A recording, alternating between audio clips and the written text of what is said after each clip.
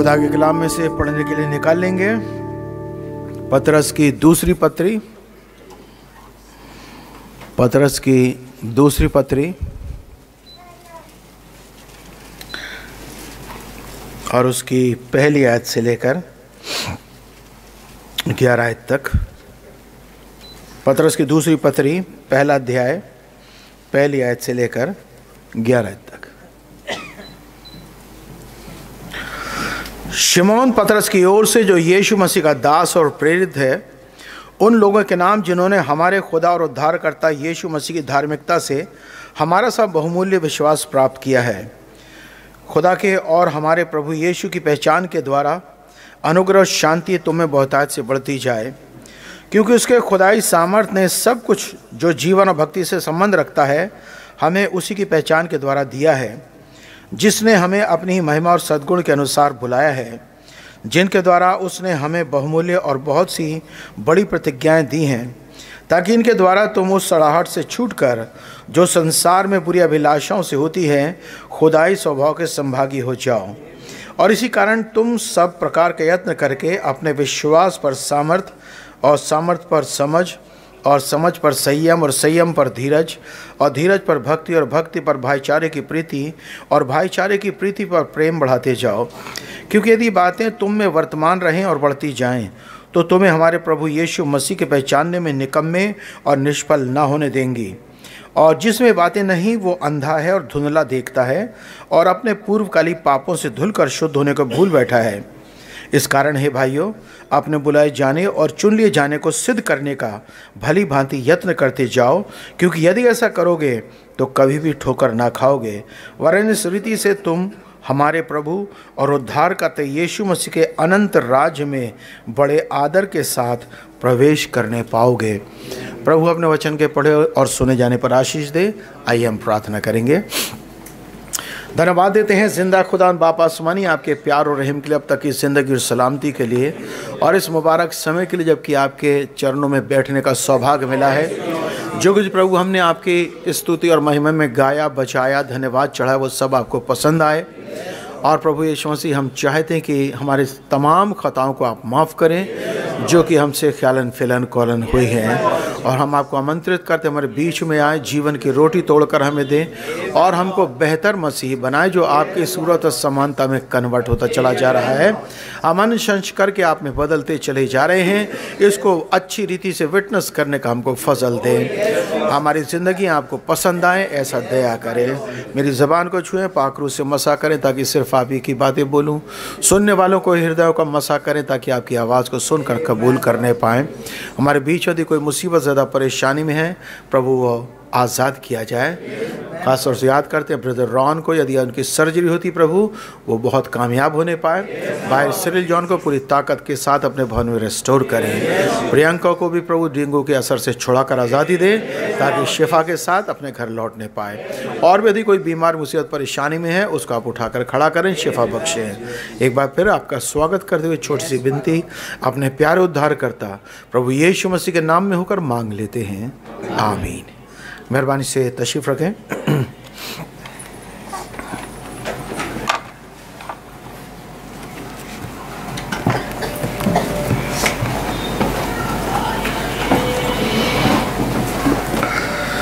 खुदा उनका धन्यवाद हो कि उसके चरणों में बार बार आने का, बैठने का मौका मिलता रहता है और हमारे लिए बड़ी खुशी की बात होती है। जैसी खुदा ने हमारे ऊपर दया करी है उसके अनुसार हम चले। कहने को मैं कई बार सोचता हूँ, प्रभु भी तो मैसेज प्रचार कर चुका हूँ, ये भी कर चुका हूँ, ये भी कर चुका हूँ। लेकिन खुदा घुमा करके क्यों लाता है, इसे दोबारा करो? वजह? आप सोचिए, एक टीचर जो साल भर स्टूडेंट्स को पढ़ाता है और जब फाइनल एग्ज़ाम हो रहा होता है, उस समय टीचर क्या कोशिश करता कि मैं कोई नई चीज़ भी सिखा दूँ जो अगले साल काम आएगी? ट्वेल्थ का बोर्ड का एग्ज़ाम देने जा रहे हो, कल तुम्हारा पेपर होगा। और रुक जाओ, आज मैं तुम्हें एक नई चीज़ सिखाऊँगा, जो बीएससी में चला करती है। हर टीचर ये करता, भैया, जो पुराना कोर्स है, उसको रिवाइज करा दूँ, ताकि उसमें पक्के हो जाओ, जो कि कल तुम्हें एग्ज़ाम देना है। कोई नई चीज़ नहीं छेड़ता। अगर स्टूडेंट पूछ भी ले कि, सर, मैडम, वहाँ कुछ ऐसा सुना है? तो कहेंगे, उसको अभी हटाओ, कल पेपर है जो सिलेबस है उसका काम करो। पॉलुस प्रेरित कहता है कि मैंने एक ही पुरुष से तुम्हारी बात लगाई है, वो पुरुष प्रभु यीशु मसीह है। और चाहता हूँ कि पवित्र कुमारी की नाई तुम्हें मसीह को सौंप दूँ। लेकिन डरता हूँ, जैसे सांप ने अपनी चतुराई से हवा को बहकाया, कहीं तुम्हारे मन सिधाई के कारण, खोट कपट से, स्ट्रेंज डॉक्ट्रिन से, स्ट्रेंज फायर से किसी प्रकार से पॉल्यूट ना हो जाए, बहक ना जाए, खराब ना हो जाए, इसलिए मैं बार बार उन्हीं बातों को रिमाइंड कराता रहता हूँ ताकि तुम्हारी समझ खराब ना होने पाए। कई बात हमारे ऊपर लागू नहीं होती है? पॉलुस कहता है, एक ही बात मुझे बार बार लिखने का हया होता है। क्यों? क्योंकि इससे मेरी नहीं, तुम्हारी भलाई होती है। एक बात को जब बार बार माँ बाप बताते हैं, बच्चों को तो इसलिए नहीं बताते कि वो उन्हें मज़ा आता है। वो इसलिए ताकि उनसे बच्चों का भला हो जाए। मान लो लापरवाह है, देर से सो के उठता है तो माँ बाप बार बार कहते हैं, जल्दी उठा करो। अरे आपने पिछले महीने कहा तो था, जल्दी उठा करो, आज फिर कह रहे ये तो पुरानी बात हो गई कि नहीं बताओ ना पापा। अबे जल्दी उठाकर सारा दिन चौपट कर देता है, टाइम से उठा करो, ताकि अपनी पढ़ाई लिखाई, नौकरी चाकरी सही हो। अरे ये बात तो आपने, मैं सोचता हूँ वेडनेसडे भी कही थी if I am not mistaken Wednesday नहीं, मैंने कल भी कही थी। अगर तुम लेट उठते रहोगे और पापा मम्मी रोज तुम्हें डांटते रहेंगे तो पापा मम्मी को कौन सा बेनिफिट है इससे? अगर सवेरे जल्दी उठना सीख जाओगे तो किसे फ़ायदा होगा? बच्चों का माँ बाप को। माँ बाप तो जितना पढ़ना था, पढ़ चुके। जितनी नौकरी लगना थी, लग चुकी। वो तो इंक्रीमेंट चलने, चलते रहेंगे और एक दिन रिटायरमेंट भी हो जाएँगे। फिर वो पेंशन भी खाएँगे, जो फंड जमा करे, उसके इंटरेस्ट पे ज़िंदगी मरते दम तक चलाएँगे और तुम्हारे को छोड़ भी जाएँगे। फ़ायदा उन्हें नहीं, फ़ायदा तुम्हें होना है। इसलिए बच्चों को सलाह दी जाती है इंस्ट्रक्शन दी जाती है, डांटा जाता, फटकाया था, और नीति वचन। कल मैं फिर पढ़ रहा था, मैंने कहा मैंने कहा था, महीने में एक बार पढ़ लिया करो। है? जो बच्चा बार बार डांटे जाने से बचता है, जो बच्चा बार बार डांटे जाने से बचता है, अंत में बर्बाद होता है।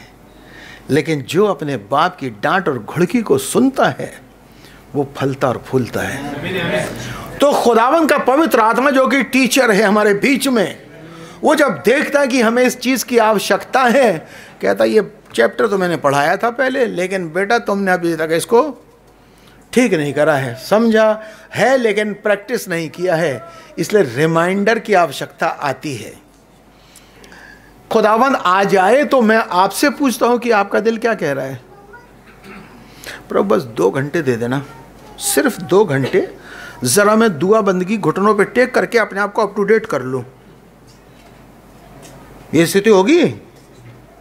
आप में से बहुतों की स्थिति तो भैया, आप एक घंटा दे दीजिए बस, प्रभु, एक घंटा क्यों? अभी जरा थोड़ा मेरा मेंटल फ्रेम जो है थोड़ा सा इधर उधर डिस्टर्ब है ना, नौकरी की वजह से स्कूल की वजह से, फलानी वजह से, प्रभु, एक घंटा, एक घंटे में सारा दिमाग ठोक करके अपना ला दूँगा आपके पास, उसके बाद ले चलो।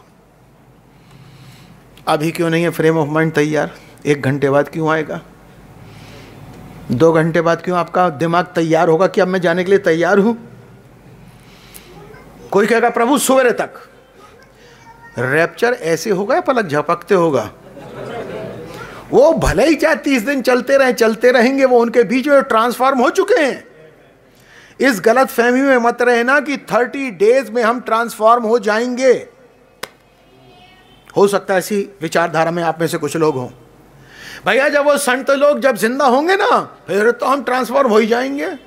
फिर तो हम ड्यूटी भी नहीं जाएँगे, हम तो छोड़ देंगे सब कुछ। हम तो उसके बाद बिल्कुल तैयार हो जाएँगे। याद रखना ट्रांसफॉर्म वही होंगे पलक झपकते। पुनरुत्थान में वही आएँगे जो तैयारी के साथ सोए पड़े हैं। और उस समय जो ज़िंदा लोग हैं, वही तब्दील होंगे, पलक झपकते ही। तब वो तीस दिन लोगों से मुलाकात करेंगे।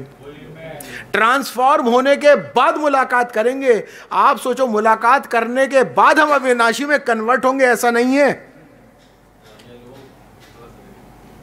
समझ रहे नहीं? सन्नाटे में क्यों आ गए? लग रहा कुछ ऐसे लोग थे, कुछ ऐसी समझ थी कि भैया जब कोई संत ज़िंदा होके आएगा तो हमें पता पड़ जाएगा थर्टी डेज़ बजे हम तो बिलीवर लोग हैं ही हैं।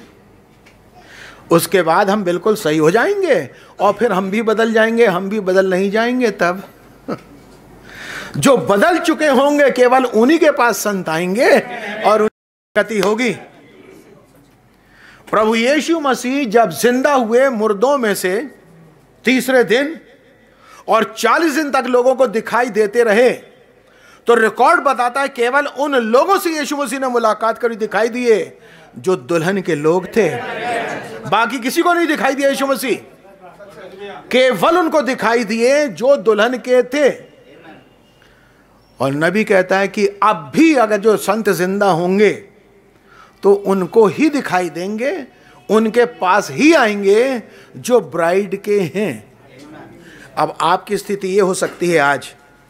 अब पता नहीं, लगता तो है हम ब्राइड में हैं, कभी ऐसा ना हो कि यार कुछ एक दो परसेंट से रह जाएँ। कभी ऐसा ना, वैसे हम ब्राइड हैं, अभी हंड्रेड परसेंट तो नहीं लग रहा, लेकिन नाइन्टी परसेंट तो लग रहा है। नबी कहता, आपको तो ऐसा विश्वास होना चाहिए कि अगर 500 जाएँगे तो एक में 50 जाएँगे तो एक में, और एक जाएगा तो वो में।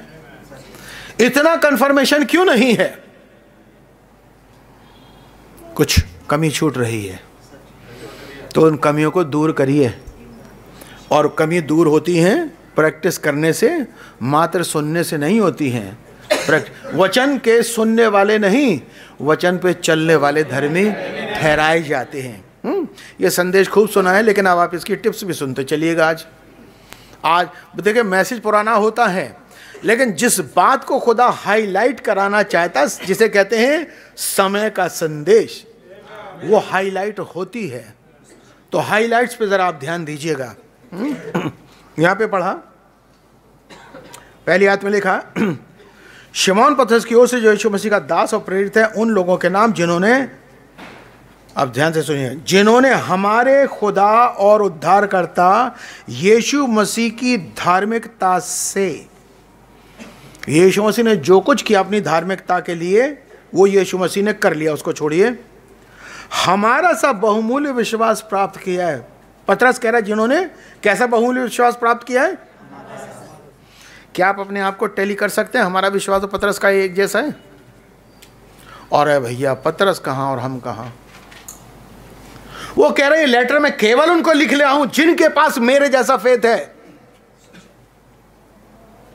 जिनके पास थंडर वाला है, बवंडर वाला है फलाना वाला, ढिमाका, उनकी बात नहीं कर रहा हूँ। पत्रस कह रहा है, जिनके पास मेरा जैसा फेत है। अगर आप कहो कि पत्रस भाई, आप तो बहुत चेले थे, आप तो लीडर थे, आप तो इसराइलियों के लिए गुरु ठहराए गए थे, आप तो ज्योति और उद्धार थे। भाई, बारह चेलों के भी आप अगुआ थे, आपके पास तो चाबियाँ दी गई थी। कहा आप और कहा हम? वो कह रहा था, तुम हट जाओ साइड में। मैं तो उनसे बात कर रहा हूँ, केवल जिनके पास मेरे जैसा फेत है। मेरे बराबर ना हो, लेकिन मेरे जैसा हो। हो सकता है उसके पास बहुत बड़ा फेथ है, लेकिन उसी क्वालिटी का हमारे पास इतना सा फेथ है। तो पतरस की क्वालिटी का फेथ क्या है हमारे पास? अभी यीशु मसीह ने तो अपना फेथ दे दिया। यीशु मसीह की धार्मिकता, उसका विश्वास, उसकी कुर्बानी, उसका सब कुछ उसने जो करना था, कर दिया और जो धार्मिकता थी, उसने पतरस के अंदर डाल दी। पतरस ने वो चीज़ आगे बढ़ा दी। और अब पतरस कह रहा है, उन भाइयों, मैं बहनों को भी जोड़ देता हूँ उसमें, ये पत्री उन भाइयों के पास नाम है, उन बहनों के नाम है, जिनके पास हमारा सा विश्वास है। आपका विश्वास कौन सा है?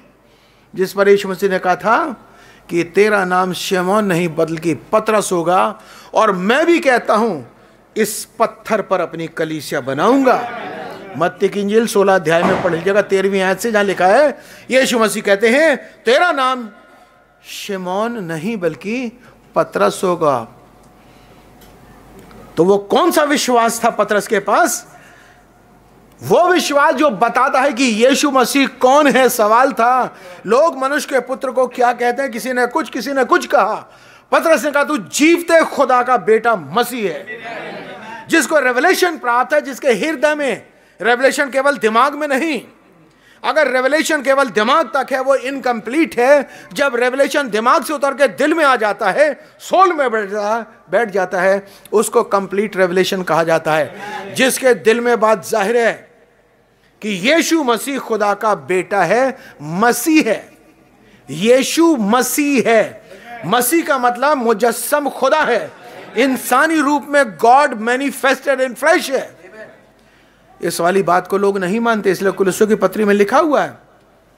Great is the mystery of godliness that God was manifest in the flesh तिमुथु तीन सोलह में लिखा है कि खुदाइत का भेद बड़ा गंभीर है कि खुदा शरीर में प्रकट हुआ। और कुलसों की पत्री बताती है कि fullness of God had bodily dwelleth in him मसीहियत क्या है? सारी की सारी खुदाइत यीशु मसीह में एक ही बॉडी के अंदर वास करती थी। तो ये वाला फेथ जो पतरस को दिया गया था केवल पतरस को ही नहीं दिया गया, उसके साथ जितने चेले थे, उनको भी दिया गया था। यहूदे की पत्र उसका पहला अध्याय अगर हम देखेंगे तो वहाँ पर भी ऐसा लिखा हुआ हमको मिल जाएगा। यहूदा की पत्री, पहला अध्याय, और उसकी तीसरी रात में लिखा है हे प्रियो जब मैं तुम्हें उस उद्धार के विषय में लिखने का अत्यंत परिश्रम से प्रयत्न कर रहा था, जिसमें हम सब सहभागी हैं तो मैंने तुम्हें यह समझाना आवश्यक जाना कि उस विश्वास के लिए, उस विश्वास के लिए कौन से पूरा यत्न करो जो पवित्र लोगों को एक ही बार सौंपा गया था।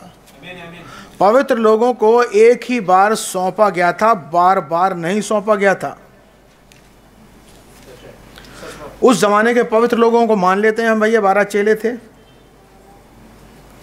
मान लेते बारह चेले को एक ही बार सौंपा गया, पत्रस भी उनमें से एक है। चेलों को सौंपा गया तो पतरस तो इन सबके लीडर हैं। और पतरस को जो विश्वास सौंपा गया था, यहूदा लिख रहा है कि इस विश्वास को यत्न से पाने की कोशिश करो। ये बार बार नहीं सौंपा गया है। ये तो एक व्यक्ति से दूसरे में, दूसरे से तीसरे में जैसे वंशावली चला करती है, जैसे जेनेटिक्स चला करती है, उस प्रकार से फेथ ट्रांसफ़र होते होते चला जा रहा है। जो खुदा में था, वो मसीह में आया, जो मसीह में था, कलीसिया में आया और कलीसिया जो रैप्चर तक चले जा रही है और ये फेथ ट्रांसफ़र होता जा रहा है। तो मैं सोचता, अब समझ आएगा पत्रस क्या क्या लिख रहा है? हम्म? पत्रस कह रहा है, देखिए इसको ध्यान से। उद्धारकर्ता यीशु मसीह की धार्मिकता से हमारा सा बहुमूल्य विश्वास प्राप्त किया है, जिन्होंने, और जिन्होंने नहीं किया है भैया, पहले एडमिशन ले लो, बाद में एग्ज़ाम देना। हम तो एडमिशन ले चुके हैं, पूरी फ़ीस भर चुके हैं, अब हम कोर्स में आगे चल रहे हैं। तो मेरे और आपके लिए एक बहुत बड़ा पहला ही स्टेज पे स्टेप आ चुका है कि क्या आपके पास पत्रस वाला फेथ है? इफ्सियों की पत्री? वो मैंने पहले बोली थी ना, पहला तुम तीन सोलह। Great is the mystery of God note करते चलना। और आयत भी बताता चलूँ। और दूसरी वाली जो थी, कुलुस्यों की पत्री, उसका दूसरा अध्याय, और उसकी नवी आयत में था गॉड हेड बॉडली वाला। ठीक है? अब तीसरी आयत, नोट कर लो, इफ्सियों, और उसका दूसरा अध्याय, और उसकी उन्नीस बीस आयत। इसलिए तुम अब विदेशी और मुसाफिर नहीं रहे। परंतु पवित्र लोगों के संगी स्वदेशी और खुदा के घराने के हो गए और प्रेरितों और भविष्यताओं की नेव पर जिसके कोने का पत्थर मसीह यीशु आप ही है, बनाए गए हो। किसकी नेव पर? प्रेरितों और भविष्यवक्ताओं की नेव पर। कोने का पत्थर तो यीशु मसीह है ही है स्टार्टिंग लेकिन आपको जो विश्वास मिला है, आपकी जो फाउंडेशन पड़ी है, किसी भी मकान की बिल्डिंग की जो बुनियाद होती है, उसका स्टार्टिंग पॉइंट होता है। कोई भी मकान जो बनता है, भवन बनता है, वो स्टार्ट कहाँ से होता है? छत से, खंबे से, दीवार से या नींव से? सही है ना? तो नेव जो है, वो स्टार्टिंग पॉइंट है और विश्वास जो है स्टार्टिंग पॉइंट की नेव का पत्थर है। अभी आगे वो बातें आएँगी। तो जो नेव डाली है, प्रेरितों ने, चेलों ने, पतरस ने उस विश्वास की बात हो रही है और पत्रस कह रहा है, जिन्होंने हमारे जैसा विश्वास प्राप्त किया है, उनसे मैं बातें कर रहा हूँ। तो यहाँ पर आप कह पाएँगे कि हम पत्रस भाई, हमें वही विश्वास मिला है जो आपके पास था। अगर आपकी शिक्षा आपकी नेव पत्रस की डॉक्ट्रिन पर है, अगर आपके पास विश्वास पत्रस जैसा है बपतिस्मा पत्रस जैसा है, पवित्र आत्मा पत्रस जैसा है रिपेंटेंस पत्रस जैसा है, पुनरुत्थान का और मसीह के आने का विश्वास पत्रस जैसा है तो आप कह सकते हैं, भाई पीटर, जो विश्वास आपके पास है, वैसा ही विश्वास हमारे पास भी है। क्या पाओगे कि नहीं? या नहीं? जो नहीं कह पाएँगे, नहीं कह पाएँगे, जो कह पाएँगे, वहाँ बोल रहे हैं। है ना? तो जिनके पास पत्रस जैसा विश्वास है, अब आगे देखिए उनसे क्या बात हो रही है। दूसरी आयत। खुदा के और हमारे प्रभु यीशु मसीह की पहचान के द्वारा।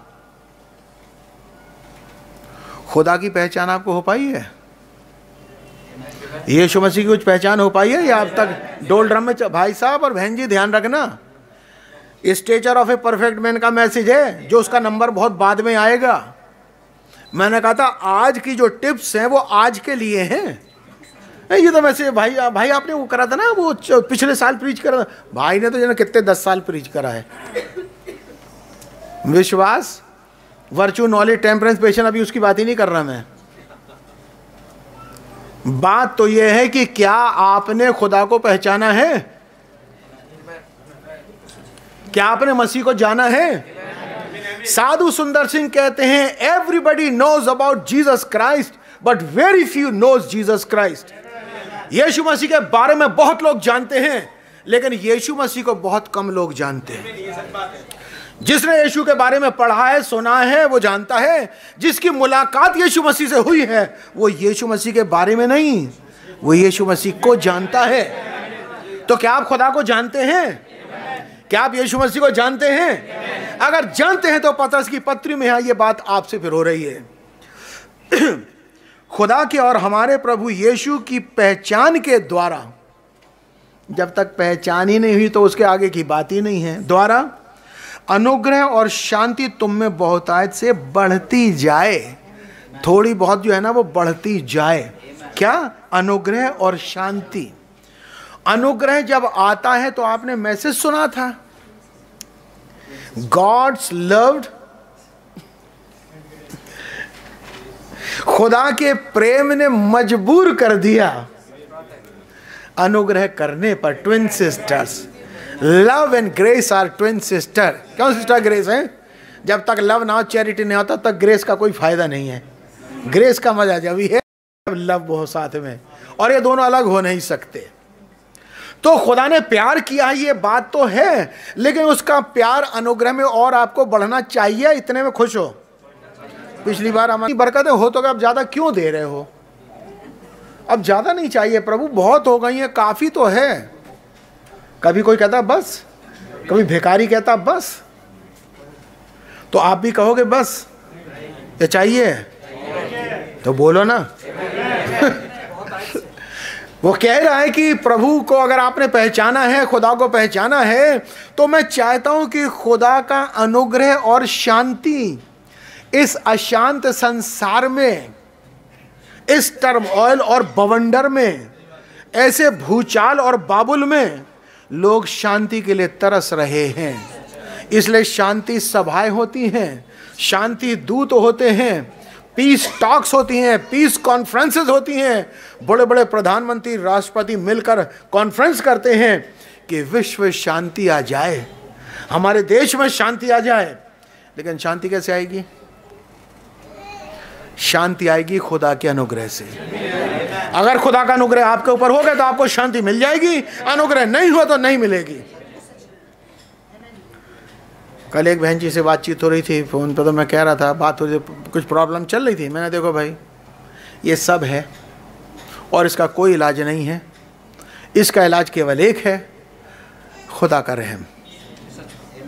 खुदा के रहम को कमाओ तो सब कुछ है। और खुदा का रहम नहीं तो ना आपका पैसा, ना कौड़ी, ना एजुकेशन, ना फैमिली, ना बैकग्राउंड, ना फलाना धमाका, कुछ नहीं, सब बेकार है। तो खुदा का अनुग्रह और शांति तुम पर बहुतायत से होती चली, बढ़ती जाए। क्योंकि उसके खुदाई सामर्थ्य ने, कौन सी सामर्थ्य ने? इंसानी? क्योंकि खुदा की एक खुदाई पावर है, यीशु मसीह के अंदर एक स्पिरिचुअल पावर है। खुदाई सामर्थ्य ने सब कुछ जो जीवन और भक्ति से संबंध रखता है, हमें उसी की पहचान के द्वारा दिया है, जिसने हमें अपनी ही महिमा सद्गुण के अनुसार बुलाया है। हमें किस लिए बुलाया है? अपनी महिमा।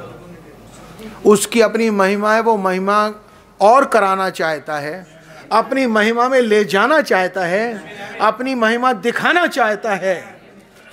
और सद्गुण के अनुसार बुलाया है उसकी जो पावर है पता नहीं इंग्लिश में सद्गुण ही है या, या वर्चू क्यों भाई? वर्चू ना? अपनी ही महिमा और सामर्थ्य के अनुसार ये सदगुण वर्ड ठीक नहीं है। सदगुण मीन्स अच्छे गुण और वर्चू मीन्स पावर खुदा की जो अपनी पावर है और खुदा की जो अपनी ग्लोरी है उसके अनुसार खुदा की ग्लोरी कितनी है? खुदा की ग्लोरी को कोई नाप सकता है? और खुदा की पावर को वर्चू को, सामर्थ को? असीमित है ना? तो उसने असीमित सामर्थ और असीमित महिमा के बेस पर, जो उसकी है, जिसकी हम इमेजिनेशन नहीं कर सकते, उसके आधार पर उसने बुलाया है। अब उसकी क्या पावर है जो उसने बुलाया है? बैठा तो स्वर्ग में और बुलाता यहाँ दिल्ली से है। हम बेहोश पड़े तो खींच लेता है। बीमार पड़े तो अपनी मर्ज़ी करा देता है। भाई, उसकी असीमित सामर्थ्य हम इमेजिन नहीं कर सकते। तो उसने अपनी उस असीमित सामर्थ्य के आधार पर, अपने असीमित गुणों के आधार पर, अपने असीमित महिमा के अनुसार आपको बुलाया है। हम आ तो गए, लेकिन हमें यही नहीं पता उसकी महिमा कितनी है। एक दिन मूसा ने कहा था, प्रभु, मुझे अपनी महिमा दिखा दे, अपनी शक्ल दिखा दे। उन्होंने कहा, आदमी देखकर ज़िंदा नहीं रह सकता। झेल नहीं पाएगा। ही सो ग्लोरीफाइड लेकिन वो चाहता, मेरी ग्लोरी देखो। हर सिंगर चाहता है, कभी मेरा गाना तो सुनो। हर पेंटर चाहता, भाई, मेरी पेंटिंग देखो तो सही। बढ़िया रोटी पकाने वाली हर औरत चाहती है, खाओ तो सही मेरे हाथ की रोटी। हर टेलर जो टॉप का चाहता, कभी मेरे से भी तो कपड़े सिलवा कर देखो। ऐसा होता कि नहीं? जिसके अंदर जो बेस्ट कला होती है, वो चाहता कि कोई तो देखे। जब नहीं देखता कोई तो कहता, आओ, मैं फ्री में ही दिखाता हूँ। मैं पूरा सेट जमाता हूँ। तो मैं चाय पानी भी पिलाता हूँ। अरे जलवा तो देखो यार क्या चीज़ है। तो सोचो, हम तो खैर खुदा की महिमा देखने का थर्ड क्लास का टिकट भी कभी नहीं खरीद सकते, वो तो बहुत महँगा होगा। कोई दुनिया में इंसान देख नहीं पाएगा खुदा की महिमा। अगर वो रेट लगा दे तो कोई नहीं खरीद पाएगा टिकट लेकिन उसने अपनी महिमा फ्री में दिखाने के लिए मुझको और आपको बुलाया है। आओ मेरे पास, मैं अपना जलवा दिखाना चाहता हूँ। अभी तो तुम दुनिया में छोटे छोटे टुकड़े देख रहे हो, मैं तो तुम्हें ऊपर भी दिखाना चाहता हूँ। तो हम झेल नहीं पाएँगे, इसलिए वो धीरे धीरे हमको ट्रांसफॉर्म कर रहा है। जब एक पेशेंट को दवा दी जाती है, जैसे कीमोथेरेपी करी जाती है तो देखा जाता है इसमें कितना दम है, कितना झेल पाएगा। जब बच्चों को बुखार चढ़ता है ना, कहते हैं, भाई, मेटासिन की वो आधी देना, आधा चम्मच देना बुखार। क्यों? पूरी गोली दे दो ना। अरे, बच्चा है भाई, वो पाँच साल का, वो नहीं झेल पाएगा। लेकिन बड़े आदमी को कैप्सूल ले लो। कौन सा वाला कहलाता है? दवा होती है, एक तो रेगुलर होती है, मैं भूल गया इस टाइम और एक तो रेगुलर होती है, और दूसरी वो कहलाती है, जो थोड़ी ज़्यादा पोटेंसी होती है उसमें। कि वो ले लो। तो बच्चे को छोटी डोज दी जाती है, बड़े को पूरी डोज दी जाती है, और जब बहुत सीरियस हो जाता है तो उसको कार्टिजोन में ला के डोज दी जाती है ताकि अब असर कर पाए।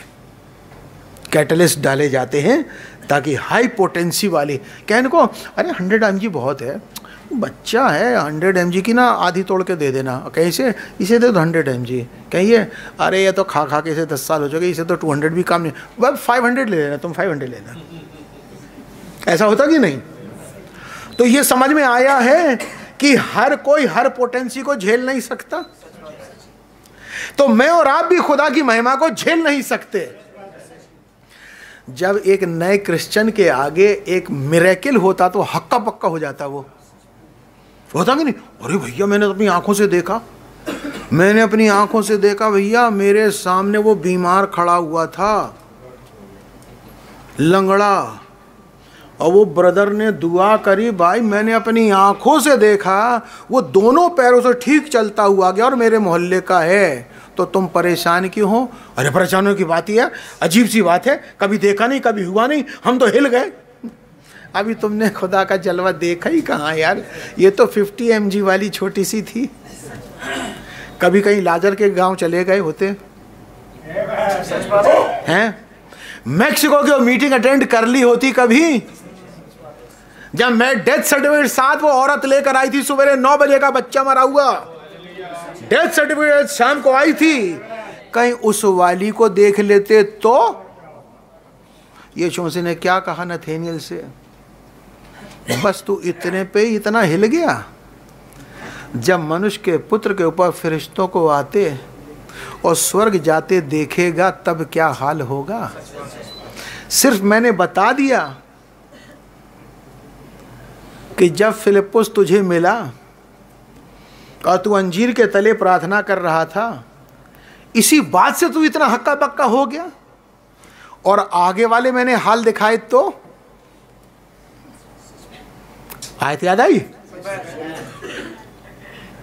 अरे निकोदेमस, इसराइलियों का गुरु होकर जब तू इन बातों को नहीं समझता, मैंने दुनिया की बात कही है, और तेरी समझ में नहीं आ रही कि जब तक नया जन्म ना हो, तब तक मनुष्य स्वर के राज को देख नहीं सकता। ये की इंजिल तीसरा अध्याय में लिखा हुआ है। और जब तक जल और आत्मा से जन्म ना ले स्वर के राज में प्रवेश कर नहीं सकता।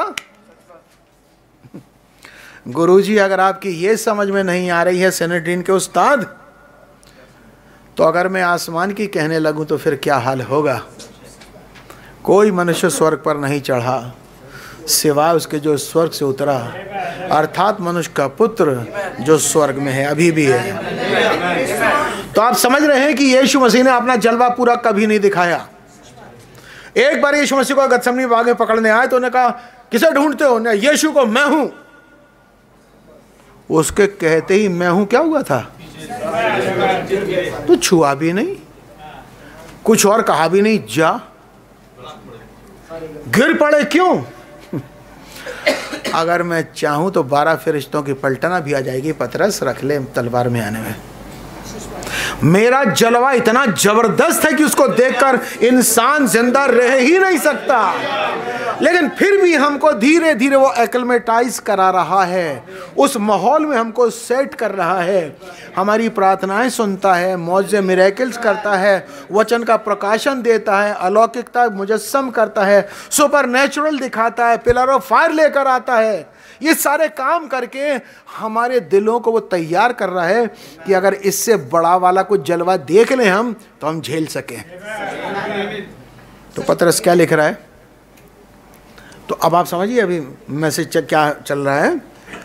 कि जिसने हमें अपनी महिमा और सामर्थ्य के अनुसार बुलाया है तो उसकी महिमा असीमित है, उसकी सामर्थ्य असीमित है उसका बुलावा हमारी समझ के परे है। हम ये भी नहीं समझ सकेंगे हमें क्यों बुलाया। हम बहुत से बहुत मालूम क्या कहेंगे? उसने हमारा छुटकारा करने के लिए बुलाया, हमें बेटा बेटी बनाने के लिए बुलाया, और क्या बोलेंगे? हमें स्वर्ग ले जाएगा इसलिए बुलाया, और बोलो। चलाओ दिमाग फाइनली आप क्या और हम क्या कह पाएँगे अपनी इतने ज्ञान और आत्मिक ज्ञान के आधार पर कि खुदा ने हमें क्यों बुलाया? लास्ट का आइटम बता दो क्यों बुलाया? हैं? खोपड़ी घूमेगी? सबसे शुरुआत कहाँ होगी? उसने हमें गुनाह से बचाने के लिए बुलाया। बस। नहीं भैया, उसने हमें स्वर्ग ले जाने के बुलाया। बस। उसने हमें दुल्हन पर लाने के लिए बुलाया है। बस। अपने साथ सिंहासन में बैठाने के लिए बुलाया है। बस। राज करने के लिए बुलाया है। बस। और चलो आगे। भाई, बस यहीं तक जा पा रहे इससे ज़्यादा आज कोई जा रहा है? सोचो ज़रा। अपनी दुल्हन बना के अपने सिंहासन पर अपने साथ बैठाने के लिए प्रकाशित वाग इक्कीस बाईस का अध्याय जो समझ में आया है, वो कराने के लिए हमें बोला, इसके आगे और? ये तो नोन है। ये तो सभी जानते हैं। बाइबल क्या बताती है? खुदा ने अपने प्यार करने वालों के लिए ऐसी ऐसी चीज़ें रखी हैं जो मनुष्य की कल्पना में नहीं आई, मनुष्य के चित्त में नहीं समाई, मनुष्य की अकल के परे हैं। वो बातें तो बाइबल में भी नहीं लिखी हैं। लिखी ही नहीं है। क्योंकि इतनी सी बुद्धि वाला इतने बड़े की क्या समझ समझेगा? तो ये बात को मान लीजिए। कि खुदा की जो असीमित महिमा और सामर्थ है, उसने उसका नज़ारा दिखाने के लिए हमको और आपको बुलाया है। उसका नज़ारा क्या है, हम इमेजिन नहीं कर सकते। तो आप सोचिए कि गुनाह से निकल के आना है तो बहुत छोटी बात हो गई फिर। क्या भैया तो नर्सरी का एडमिशन हो गया तो नर्सरी वाली बात है। अगर वहाँ से निकल के आ गया, वो द्वार कर, बपतिस्मा ले लिया एक गॉड हेड समझ लिया, विश्वास कर लिया, अरे तो बच्चों वाली बातें हैं। आगे की बोलो ना। देखिए क्या कह रहा है। चौथी आयत में, जिनके द्वारा किन के द्वारा? मतलब महिमा और सामर्थ्य के द्वारा, जिनके द्वारा उसने हमें बहुमूल्य और बहुत ही बड़ी प्रतिज्ञाएँ दी हैं। बहुत बड़ी प्रतिज्ञाएँ हमें दी हैं। इब्राहिम की सारी प्रतिज्ञाएँ हमारी और उसके अलावा जितनी वो भी हमारी हैं। पुराने नियम की प्रतिज्ञाएँ भी हमारी और नए नियम की भी हमारी और जो भविष्य में आने वाली वो भी हमारी। बहुत बड़ी प्रतिज्ञाएँ दी हैं। किस लिए?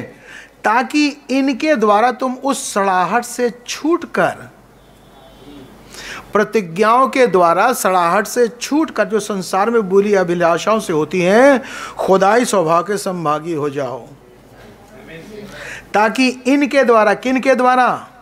प्रतिज्ञाओं के द्वारा संसार की सड़ाहट से छूट जाओ। कैसे छूटते हैं? प्रतिज्ञाओं के द्वारा संसार की सड़ाहट से छूट जाओ। संसार की सड़ाहट क्या है? फटाफट जल्दी एग्ज़ाम्पल देते चलो। इस दुनिया में क्या चीज़ें सब सड़ी सड़ी ही तो हैं। यहाँ का खाना सड़ा, पीना सड़ा, कपड़ा सड़ा, यहाँ की विचारधाराएँ, यहाँ की खरीद फरोख सड़ी हुई है। यहाँ का प्यार सड़ा, यहाँ की सेवा सड़ी हुई, यहाँ के भाईचारा सड़ा हुआ है, यहाँ की रिश्तेदारी सड़ी हुई है। कौन सी चीज़ है जो सड़ी हुई ना हो? दुनिया की जितनी भी चीज़ें हैं, आपके जीवन को सड़ा देंगी, गला देंगी। उनसे छूटने के लिए उसने क्या तरीका निकाला है? अपनी प्रतिज्ञाएँ दी हैं। अगर आप उसकी प्रतिज्ञा मानते हो तो सड़ाहट से छूट जाओगे कैसे? हम्म? उसने प्रतिज्ञा मान ली एक दी है, जो मुझ पर विश्वास करता है, वो अनंत काल तक ना मरेगा, और यदि मर भी जाए तो मैं उसे जिला उठाऊँगा। मैं तुम्हें अपनी शांति देता हूँ। वो शांति नहीं जो संसार देता है। पवित्र आत्मा के द्वारा तुम्हारे दिल में खुदा का प्रेम डाला गया है। ये आपको पता पड़ गया कि पवित्र आत्मा के द्वारा खुदाई प्रेम मेरे अंदर आया है, ये उसने प्रतिज्ञा की है, इसलिए मुझे प्रभु आपका पवित्र आत्मा चाहिए। क्या बेटा दूँगा पवित्र आत्मा? एक काम कर, तौबा कर ले। क्या कर लिया? विश्वास कर ले? कर लिया। बपतिस्मा यीशु नाम में? हाँ ले लिया। सर पे हाथ रखवा। सर पे हाथ रखवा के दुआ करवा ली। ले पवित्र आत्मा दे दिया। थैंक यू लॉर्ड मिल गया। अब जो तुम्हारे दिल में प्रेम आया है, ये मेरी प्रतिज्ञा वाला प्रेम है। इस प्रेम के द्वारा जो संसारी प्रेम सड़ाहट वाला है, उससे बच जाओगे। जब तुम्हारे अंदर खुदाई प्रेम आएगा तो रिश्तेदारों का प्रेम आपको सड़ा पाएगा। कि हम सब जानते रिश्तेदारों का प्यार क्या होता है। दोस्तों का प्यार कोलीग का प्यार प्रोफेशन का प्यार, लड़की का प्यार, लड़के का प्यार, ये कोई सी चीज़ ऐसी नहीं है जो आपके दिल में सड़ाहट ला सके। क्यों? क्योंकि आपके दिल में ऑलरेडी खुदा की प्रतिज्ञा वाला प्यार आ चुका है। खुदा की जो शांति आपके अंदर आ गई है तो मरने के बाद जो रिश्तेदार आए थे तसल्ली देने, उनकी शांति। और आपको जो नोटों का भंडार बोरा आपके घर में दे दिया, भाई, आड़े तिरछे वक्त काम आएगा, अब मेरे पास तो अरबों खरबों का काम है, लो, एक बोरा रख लो, ये दो दो हज़ार के नोट वाला। इस, ये वो शांति नहीं दे पाएगा। ये खाना वो शांति नहीं दे पाएगा। वो रिश्ता दोस्ती शांति नहीं दे पाएगी। हो खुदा ने वादा किया है ना, मैं तुम्हें शांति दिए जाता हूँ। तो खुदा की शांति जो है ना, इस सड़ाहट वाली शांति से बहुत ऊपर है।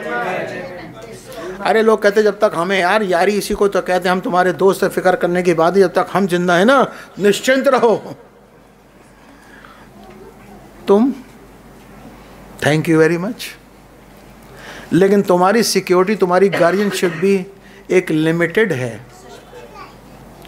लेकिन मुझे तो वो वाली गार्जियनशिप चाहिए जो खुदा है मेरा गार्जियन और जिसको खुदा गार्जियन मिल गया तो ये सड़ाहट वाला गार्जियन कुछ नहीं आपको दे पाएगा। तो कहने का मतलब पत्रस बता रहा है गुरु की बात, कि खुदा ने जो वायदे और प्रोमिस आपको दिए हैं, आप उन प्रोमिस को पकड़ लीजिए। इस दुनिया की जो सड़ाहट वाली चीज़ें हैं, आपकी सेहत पर रत्ती भर भी असर नहीं डाल पाएँगी। कई बार एक डायलॉग हमारे मुँह से भी निकल जाता है। ऐसा हुआ, वैसे हुआ, वैसा हुआ, भैया, ये ये मैंने सुना ये सब कुछ भी करते रहो, कल भी करें। मेरी सेहत पे कोई फ़र्क नहीं पड़ता। ये आपने भी सुना होगा, और हमने कई बार कहा। भैया, आपको बड़ा धोखा दिया लोगों ने। जो आपके अज़ीज़ थे राइट हैंड उन्होंने ही आपके साथ चोट करी। मैंने कहा, मेरी सेहत पे कोई फ़र्क नहीं पड़ा। भैया, वो तो बहुत नज़दीकी थे, आपके बहुत अपने, आपके प्यारे थे, ये थे वो थे हमने कहा, प्यारे थे, सब कुछ थे। उन्होंने भाई आपके साथ ऐसी धोखाधड़ी करी, गद्दारी करी, ये करी, बड़ा दिल टूटा, मैंने रत्ती भर भी नहीं टूटा। ना मेरा दिल टूटा, कभी किसी ने सुना हो, कभी किसी ने अगर सुना हो, कि भाई जोल ने कहा, भाई, मुझे इस बात से बड़ी चोट पहुँची, मुझे इस बात का बड़ा अफसोस है कि उन्होंने मेरे साथ ऐसा किया। मैंने क्या कुछ नहीं किया। उन्होंने मेरे साथ कोई भी बता दिया आज तक। कभी नहीं, क्यों? क्योंकि मैंने सड़ाहट पे कभी भरोसा नहीं किया। मैंने उन प्रतिज्ञाओं पे भरोसा किया हुआ, अपने खुदा बाप की, कि जब तक साथ चल रहे हो, आ जाओ मेरे यार, दामन थाम के चलेंगे। और जिस दिन तुमने कहा, चलते हैं मैंने कहा bye bye God be with you till we meet again और चाहे ना मीट अगेन हो। हम नहीं रोते। लगेगा कितना कठोर दिल इंसान है ये। भैया, आपको ज़रा याद भी नहीं आती? मैंने कहा, यार, कुछ समय के बाद पूछना तो नाम भी भूल जाता हूँ। ये फैक्ट है। क्यों? जब उतर गया दिल से तो क्या यार, शकल याद है, क्या नाम था, क्या? ये भैया, क्या नाम था? यार, उन ब्रदर का, कौन? जो हमारे साथ साथ रहा करते थे। अरे, नाम याद ही नहीं यार मैं ही नहीं रहा क्यों? चित्त से उतर गया। तो आपको चोट नहीं लगी, सदमा नहीं लगा, बुरा नहीं लगा फील नहीं हुआ? नहीं। क्यों? मेरा भरोसा उन पे होता तो फील होता। एक बहुत बढ़िया बात बताई। कि जब कोई व्यक्ति उम्मीद लगाता है, तभी उसको अफसोस होता है अगर उसकी उम्मीद पूरी ना हो। जब आपने कहीं उम्मीद लगाई और आपकी उम्मीद पूरी नहीं हुई तो आपके दिल को ठोकर लगेगी कि हमने उनसे इतनी एक्सपेक्टेशन करी थी, ये तो करेंगे ही करेंगे। उनने तो भैया रत्ती भर मुँह तक नहीं दिखाया और झूठों को उन्होंने ये भी नहीं किया। तो आपको बुरा क्यों लग रहा है? इसलिए लग रहा है क्योंकि हमने उनसे बहुत कुछ एक्सपेक्ट किया था। तो ये एक्सपेक्टेशन जो सड़ाहट वाला आपने किया तो सड़ाहट लेकर ही आएगा। अगर ये एक्सपेक्टेशन आपने खुदा पे लगाई होती, उसके वायदे पे लगाई होती तो फिर ये सड़ाहट वाला सदमा आपको ना मिला होता। इंसान अगर खुदा का रहम हो तो आपका साथ देगा। बाइबल कहती है जब खुदा को किसी व्यक्ति का चाल चलन पसंद आता है, चाल चलन याद रखना, उसकी नॉलेज नहीं, उसकी अंडरस्टैंडिंग उसकी उसकी बाइबल स्टडी नो जब किसी का चाल चलन खुदा को पसंद आता है तो उसके दुश्मनों को भी मेल करा देता है। और यहाँ तक कि जंगल के पत्थर, देखिए क्या क्या आते हैं। जंगल के पत्थर भी उस व्यक्ति से शांति की वाचा बाँध के रहते हैं, अर्थात जंगल के पत्थर भी आपका विरोध नहीं करते। वो भी कोई मुसीबत खड़ी नहीं करते। पत्थर क्या करेगा? वो भी मुसीबत नहीं करेगा। क्यों? क्योंकि आपका चाल चलन खुदा को पसंद आ गया। ठीक है? तो पॉल पतरस कह रहा है कि इस दुनिया की सड़ाहट से अगर बचना चाहो तो उन प्रोमिस पे ध्यान करो जो खुदा ने दिए हैं। आ गई समझ में? तो प्रोमिस पे ध्यान देना, इसका मतलब ये नहीं कि भाई बहन लोग तुच्छ हैं। इसका मतलब नहीं कि आपके ऑफ़िस वाले, दफ्तर वाले, मोहल्ले वाले, आप घमंड में हम तुम्हें हम तुम्हें कुछ समझते ही नहीं। ये मोहम्मद तुगलक का आइटम यहाँ ना करना। भाई हम तो खुदा को मानते हैं भाई खुदा को मानते हैं, बाकी इंसान इंसान तो बेकार है, बकवास है, वो बेभरोसे वाले। आदमी आदमी को हम नहीं मानते, आदमी को नहीं अरे यार, वो तुम्हारा विश्वासी भाई है, तुम्हारी कलीसिया का सदस्य है तो मसीह का खून खरीदा हुआ जिसके साथ तुम प्रभु भोज लेते हो, वो है। तो उसके ऊपर आप डिपेंड कर जाओ अपने ज़िंदगी नजात के लिए, ये मत करना। उसके लिए खुदा पे भरोसा करना। लेकिन आपका भाई है, आपकी बहन है, जान देने तक आप उसके साथ रिश्ता निभाना। हम्म। अच्छा जी। जिसके द्वारा उसने हमें बहुमूल्य बहुत सी बड़ी, बहुत ही बड़ी प्रतिज्ञाएँ दी हैं, ताकि इनके द्वारा, अर्थात प्रतिज्ञाओं के द्वारा तुम उस सड़ाहट से छूट कर जो संसार में बुरी अभिलाषाओं से होती हैं। सड़ाहट कहाँ से आती है? बुरी अभिलाषाओं से। अभिलाषाएँ अच्छी भी होती हैं बुरी भी होती हैं। एक अभिलाषा है कि मैं आज खुदा के घर में पहुँच जाऊँ, जैसे प्रियंका गवाही दे रही थी, प्रभु चाहे कुछ भी हो जाए, तेरे भवन में मुझे जाना, ये इनकी अभिलाषा थी। बुरी थी, खराब थी, अच्छी थी, हैं? अच्छी थी। खुदा ने कहा ग्रांटेड चलो तुम्हें हम गोजन पहुँचा देते अच्छी अभिलाषा है। और बुरी वाली कहने की आवश्यकता नहीं होता, आप सभी लोग जानते हैं। जो अच्छी अभिलाषाएँ हैं, खुदा की मर्ज़ी के अनुसार हैं, उनको खुदा पूरी करता है और वो सड़ाहट नहीं लाती, वो शांति और खुशी लेकर के आती हैं। लेकिन जो शारीरिक अभिलाषाएँ बुरी वाली हैं, मैं भी कोई चीज़ कहलाऊं। कम से कम दस लोगों में निकलूं तो लोग बाग कहें तो brother brother praise the lord brother praise the lord brother brother, हो मेरी। ये बुरी अभिलाषा है। दुनिया जहान के लोग जाने मेरी नॉलेज सबसे ऊपर है। एंड टाइम बिलीवर की जब बात होती है ऐसे लड़ते कोई एक बात बोलेगा ना हाँ भाई बस सही कह रहे आप सही कह रहे हैं। और भाई नबी ने ये भी कहा है, और भाई वहाँ ये भी लिखा मतलब तुम्हें दो बातें मालूम, मुझे छह मालूम है। देख रहे थे ना उस दिन? कोई बात के देखो भाई, कितनी अच्छी बात है प्रभु ने कही है, ऐसा ऐसा। भाई, आप बिल्कुल सही कह रहे हो, वहाँ ये भी लिखा वहाँ वो भी। तो काय को बकर बकर कर रहे यार? मुझे उसके अलावा छः और वहाँ और भी मालूम है। मैं तो एक ही बात कर रहा हूँ। तुमसे ज़्यादा पढ़ रखी हैं, तुमसे ज़्यादा जानता हूँ, तुमसे ज़्यादा तजुर्बा है, सब कुछ है। मैं तो प्यार से एक बात कह रहा हूँ। लेकिन वो बताना चाहते हैं, हम किसी से कम नहीं। हम भी बहुत जानते हैं। तो जो मैं मैं मैं वाला मैं भी कोई चीज़ हूँ, मैं भी कोई चीज़ हूँ। लोग मुझे जाने, मैं भी कोई चीज़ हूँ। ये नेम एंड फेम की बुरी अभिलाषा है। तो जो संसार की जो बुरी अभिलाषा है, वो जीवन में दुख और सड़ाहट पैदा करती हैं और जो अच्छी अभिलाषाएँ हैं, खुदा उनको ज़रूर पूरा करता है। और जब पूरा करता है तो बड़ा धन्यवाद और दिल से थैंक्स और खुशी मुजस्म होती है। तो ताकि बुरी अभिलाषाओं से सड़ाहट ना जाए जो संसार में बुरी अभिलाषाओं में होती है, खुदाई स्वभाव के संभागी हो जाओ। ये वाली बात जो है ना partakers of his divine nature Hindi लेगा स्वर्गीय स्वभाव के संभागी हो जाओ, निकल गए आगे, रुक जाओ। Partakers of his divine nature खुदा का जो डिवाइन नेचर है जो वर्ल्डली नेचर नहीं। खुदा का दुनियावी स्वभाव नहीं। खुदा का खुदाई स्वभाव डिवाइन जो खुदाइयत वाला हेवनली नेचर है, उसके भागीदार हो जाओ। अर्थात प्रभु, जैसे आपका डिवाइन नेचर है ना थोड़ा थोड़ा मेरा भी वैसा हो जाए। आपका सोचना डिवाइन है, मेरा भी सोचना थोड़ा सा डिवाइन हो गया। आपका प्यार डिवाइन है, मेरा भी प्यार डिवाइन हो गया। आपकी शांति डिवाइन है, मेरी भी डिवाइन शांति आ गई।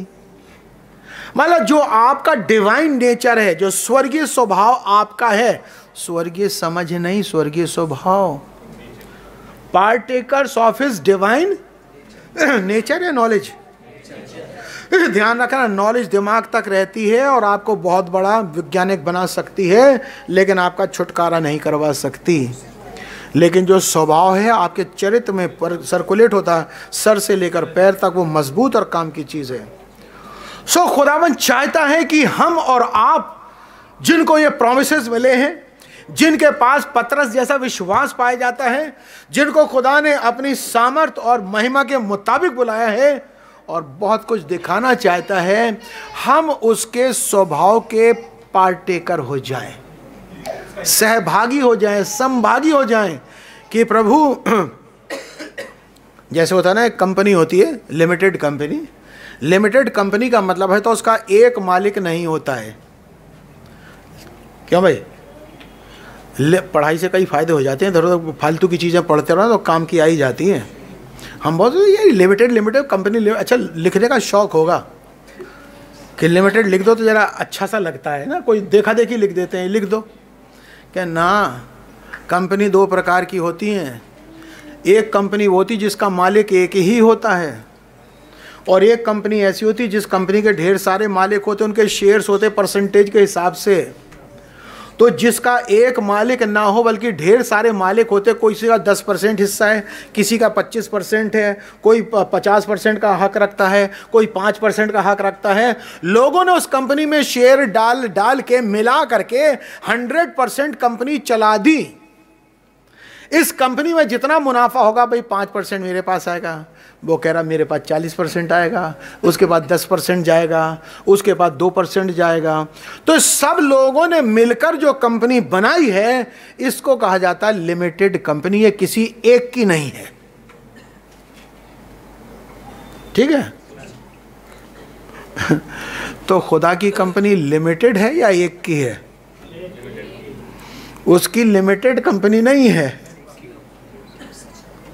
ये दुनिया किसने बनाई? कौन चला रहा है? स्वर कौन चला रहा? तीनों लोगों का। हु इज़ दी ओनर या उसके साथ लिमिटेड कंपनी चल रही है? कह रहा, मेरी कंपनी लिमिटेड नहीं है, मेरी कंपनी सिर्फ़ मेरी ही है। I am the only owner of this universe लेकिन मैं चाहता हूँ कि मेरे बच्चों, कम से कम मैं तुम्हें अपनी कंपनी के डायरेक्टर तो बना दूँ कहीं कहीं के। तो भाई मेरी कंपनी तो वही चला पाएगा जिसके पास मेरा जैसा दिमाग हो, हैं? जिसके पास मेरा जैसा दिमाग, मेरी जैसी फीलिंग मेरी जैसी प्लानिंग मेरे जो स्वभाव से मेल खाता होगा, वही तो मेरे फैक्ट्री में, मेरी कंपनी में काम कर पाएगा। और तुम सब तो ओनर हो जाओगे मेरे साथ, तुम्हें तनख्वाह थोड़ी दूँगा मैं। जैसे नू ने जब कश्ती बनाई थी तो लड़कों को तनख्वाह थोड़ी दी थी। सेम हम यापेत ने तो फ्री में काम किया था, ताकि जब कश्ती, जब तैरेगी पानी पे तो हम हक के साथ इसमें घुस के बच जाएँगे, क्योंकि हम कर्मचारी थोड़ी जो तनख्वाह लेके भाग जाएँ। तो खुदा चाहता है मुझे और आपको अपने साथ काम में लगाना, लेकिन जिस काम को खुदा हमसे करवाना चाहता, क्या हम उस दिमाग के हैं? उस स्वभाव के हैं? उस समझ के हैं? तो वो अपने स्वभाव का भागीदार हमको बनाना चाहता। अब खुदा जैसे है, स्वार्थी नहीं और हम पहुँच जाए स्वार्थी। कह गया तुम तो कंपनी का भट्टा फेर दोगे। क्यों? मैं मैं लोगों का भला चाहता हूँ। जैसे एक दिन कहीं बात चल रही थी तो मैं कह देखो भाई, दुनिया भर की सरकारें हैं, दुनिया भर के लोग हैं, दुनिया भर के सब लोग हैं। कोई छोटा है, कोई मोटा है, कोई पढ़ा लिखा, कोई अनपढ़ अंगूठा टे कोई कैसा कैसा है। और हर कोई जब कुर्सी पे बैठ जाता तो अपनी पर्सनैलिटी पर्सनैलिटी के हिसाब से डिसीज़न लेता, कर्म करता है। लेकिन बहुत पुरानी एक बात चली आ रही है राजाओं की। राजा जो होता था, राजा के लिए माना जाता था और उसके उम्मीद होती थी, राजा, आप इस देश के राजा हैं, आप अन्नदाता हैं, आप पर्यवेक्षक हैं आप पालन करने वाले हैं, आप भोजन देने वाले हैं, आप रक्षा करने वाले हैं, आप हमारा भला चाहने वाले हैं तो राजा सोचता था, इस देश का मैं राजा हूँ। मुझे अपने सब्जेक्ट्स का जो मेरी जनता है, मुझे उसको अच्छा भोजन मिलना चाहिए तो कैसे करेगा, वो दिमाग चला करके करता था। अगर कभी कोई मेरे जनता के ऊपर कभी हमला करना चाहे तो मैं दुश्मनों से कैसे बचाऊँगा? राजा युद्ध का इंतज़ाम करता था। अर्थात चूँकि वह राजा है, उससे ऊपर कोई है ही नहीं। उससे ऊपर कोई पोस्ट है ही नहीं। वो हाईएस्ट पोस्ट पर है। उसको मालूम है कि मेरा काम है जो मेरे मातहत अंडर पाए जाते हैं, इनका भला करना, इनका वेलफेयर चाहना। इसलिए राजा क्या कमीशन लेगा? राजा क्या चोरी करेगा? किसके लिए करेगा? सारा तुम्हारी तो माल है, किसके लिए चोरी करोगे? कमीशन लेके कहाँ बचाओगे? सारा देश ही तुम्हारा है। हर चीज़ तुम्हारी है, क्योंकि you are the owner of this country इसलिए राजाओं की एक बुद्धि और एक समझ और एक चाल चलन होता था कि वो हमेशा पब्लिक का भला करते थे। एक आध निकम्मा भी पैदा हो जाता है, ऐसी ऐसी बात नहीं है। मूर्ख भी हो जाता है। ये सब हो सकता है। लेकिन राजा के मेन चरित्र है कि वो अपने लोगों का भला चाहता। अब जितना भला उसमें अकल समझ भला कर सकता, करेगा ही करेगा। लेकिन जो राजा नहीं है ना, वो अपना भला करेगा, उसे कहा दूसरे लेने आज मौका लगा, तुम अपना काम कर लो। तो खुदा चूँकि यूनिवर्स का राजा है, हमेशा उसके मन में भलाई रहती है। यर्मिया उनतीस में क्या कहता है? मैंने तुम्हारे विषय में अच्छी कल्पनाएँ करी हैं, बुरी विचार तुम्हारे बारे में नहीं सोचे हैं। मैं तुम्हारा भला करना चाहता हूँ। क्यों? मैंने सोचा ही भला है। क्यों भला सोचा? अरे भाई, मैं राजा हूँ। राजा भला नहीं सोचेगा तो कौन सोचेगा? प्रजा तो चिल्लाएगी जी, ठंड लग रही है, भूख लग रही है। अजी, ये बीमारी आ गई है, मच्छर काट रहे प्रजा परेशानी लाएगी, लेकिन राजा उनका इलाज और निवारण करेगा? हम्म? तो खुदा चाहता हम उसके स्वभाव के संभागी हो जाएँ। Partaker of his nature अब आप सोचिए खुदा का नेचर कैसे मिल सकता है? नबी कहता है, खुदा के घर को ज्वाइन नहीं किया जाता है, खुदा के घर में पैदा हुआ जाता है। कहते, मेरा नाम ब्रैनम पड़ा, इसलिए नहीं कि मैंने ब्रैनम परिवार को ज्वाइन किया, एडमिशन लिया है। मेरा नाम ब्रैनम इसलिए पड़ा क्योंकि ब्रैनम परिवार में मैंने जन्म लिया है। क्रिश्चियनिटी को ज्वाइन नहीं किया जाता है। भाई मेरा भी नाम लिख लो I am also Christian no you have to born in Christianity then only can be called a Christian तो खुदा के परिवार में जन्म लेते हैं, खुदा के परिवार में एडमिशन नहीं लेते। जब खुदा ने कहा कि, मूसा, मैं आज तक इसराइली पर यहोवा के नाम से प्रकट नहीं हुआ, लेकिन अब होऊँगा। जाकर फिर उनसे कह दे कि, छोड़ दे मेरी प्रजा को, क्योंकि आज से मेरा नाम यहोवा है। यहोवा नाम का मतलब है ऐसा खुदा जो अपने फैमिली के साथ रहता है। इसराइल मेरा परिवार है, मेरा पहलौठा है, और चूँकि फिर तूने मेरे पहलौठे इसराइल को सताया है, मैं तेरे हर पहलौठे को जान से मारूँगा। मेरे फैमिली को सताया। तो खुदा who lives with his family तो खुदा अपने परिवार में जब हम जन्म लेते हैं, जब हम पवित्र आत्मा का बपतिस्मा, नया जन्म पाते हैं तो हम खुदा के घर में पैदा हो जाते हैं। और जब पैदा हो जाते हैं तो आप सोचिए पैदाइश के साथ एक जुड़ी हुई दुनियावी हिसाब से। डीएनए टेस्ट होता ना? मोटी बात। जब चेकिंग करी जाती कि ये उस बच्चा किसकी औलाद है? मर जाए तो उसकी हड्डी का डीएनए कर लेते हैं, उसके बालों को ले लेते हैं, टेस्ट करते हैं लैब में। तो R N A D N A होते जिन्होंने पढ़ा पाए हो जानते होंगे, नहीं तो अब इतना ही समझ लो बस कि डीएनए एक वो गुण होता है जो हमारे शरीर के हर सेल में पाया जाता है और वो ट्रांसफ़र होता चलता है। माँ बाप से अगली पीढ़ी में, उनसे अगली पीढ़ी में, उनसे अगली पीढ़ी में, और जब डीएनए में वो चीज़ें दिखाई देती हैं जो इस वाले व्यक्ति से मेल खा रही तो लगता है ये इसी का बच्चा, इसी की औलाद है। तो परिवार में जन्म लेने का मतलब है, आपके अंदर वो डीएनए पाया जाएगा जो उस परिवार के माँ बाप में होता है। ये दुनियावी बात है। जब आप खुदा के घर में पैदा हुए तो खुदा का डीएनए आप में होना चाहिए कि नहीं? है ना? और जिन्होंने बायो पढ़ी, वो जानते डीएनए में क्या होता है कि सारे आपके जो एट्रीब्यूट्स हैं, आपके गुण हैं, आपके जो कैरेक्टर्स हैं, यहाँ तक कि शक्ल सूरत भी अगले वंश, अगली पीढ़ी में ट्रांसफ़र होती है। एक मोटी बात, आप किसी का नेचर इंजेक्शन से नहीं रिसीव कर सकते। आप चाहो कि इंजेक्शन लगा लो, प्रेम का इंजेक्शन लगा लो, महिमा का इंजेक्शन लगा लो, वीरता का। इंजेक्शन से चरित्र नहीं बदला करता। ये तो भाई साहब डीएनए में अगर होगा तो होगा, अन्यथा नहीं होगा। और मनुष्य केवल एक बार उसके जीवन में मौका आता है कि वो अपनी योनि को चेंज कर सकता है, अर्थात अपने डीएनए को चेंज कर सकता है, और वो तब होता है जब पवित्र आत्मा का बपतिस्मा मिलता है। उससे पहले आप चोर हैं, लफंगे हैं, आप लालची हैं, धोखेबाज हैं, जनेकार हैं, फलाने हैं सब हो सकते हैं। ये आपका चरित्र आपको आपके माँ बाप से मिला है। अब ये तो चेंज नहीं हो सकता। लेकिन खुदा का लाख लाख शुक्र हो, उसने एक इंतज़ाम कर रखा है। और वो तब यह है आप खुदा के फैमिली में एक बार जन्म ले लो तो खुदा का डीएनए करेक्टर आपके अंदर आ जाएगा। और वो तब होता है जब आप विश्वास पश्चाताप, ये सब चल रहे हैं बपतिस्मा होते होते। आखिर में जब पवित्र आत्मा के बैप्टिज्म से जब आप उसके बेटा और बेटी बनकर उसके परिवार में जन्म लेते हैं, उस समय खुदा आपके अंदर अपने डीएनए अर्थात अपने नेचर को डाल देता है। तब आपका नेचर बदलता, अन्यथा नहीं बदल सकता। तो पत्रस की पत्री में क्या लिखा है? ऐसा करने के द्वारा से, उसके प्रोमिस पर विश्वास द्वारा से, ये करने के द्वारा, ये करने।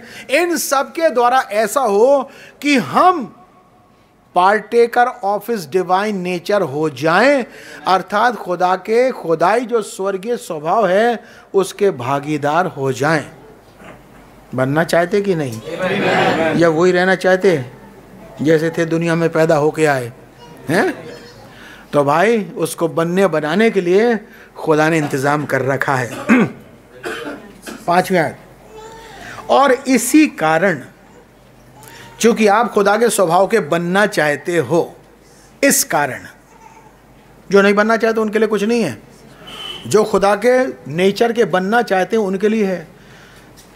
इसी कारण तुम सब प्रकार का यत्न करके, सब प्रकार का यत्न अर्थात कोशिश करो। दुआ करना पड़े, कोशिश करो। दूर चर्च जाना पड़े, जाओ। पढ़ाई करना पड़े, पढ़ो। धीरज धरना पड़े, धरो। नम्र होना पड़े, बनो। खर्चा करना पड़े, करो। जो कुछ भी कर सकते हो, करो। जागना पड़े, जागो। रातें काली करना पड़े, करो। हाथ पैर थकाना पड़े, थकाओ। सब प्रकार का यत्न करके अपने विश्वास पर सामर्थ्य, अर्थात वर्चू, ऐड करो। आपका जो नेव पड़ी हुई है, वो नेव विश्वास की पड़ गई। विश्वास की नेव पड़ गई। अब उस फाउंडेशन के ऊपर, अब आपने केवल विश्वास से गाड़ी नहीं चलेगी आपकी। अगर खुदा के नेचर में आने आपको बताऊँ, ये मैसेज है थंडर का। जो गर्जन है ना, सात गर्जन, ये सेवन जो एट्रीब्यूट्स हैं, इनको बेस बना करके सारी दुनिया में जो थंडर का मैसेज चल रहा है, वो कहते हैं कि जिसके अंदर ये सातों बातें आ गई, यही थंडर है। तो बहुत बढ़िया बात है। ये तो बाइबल भी कह रही है, जिसके अंदर ये सारे गुण आ गए, वो मसीह की सूरत समानता में बन गया और ऐसा बनना है। तो थंडर का असली मकसद है उस स्वभाव का बनाना, ना कि कूदा फंद का बनाना। ना कि मुक्के मारना और लाते मारना, चिल्लाना, और शोर शराबा करना उठा पटक करना, रोलिंग करना, ये नहीं है। इस मैसेज का मकसद है कि खुदा के स्वभाव जैसा बन जाना। अगर आपके अंदर खुदा का स्वभाव दिखाई दे रहा है सब तो हम कहेंगे, आप तो बिल्कुल मुजस्म हो रहे हैं।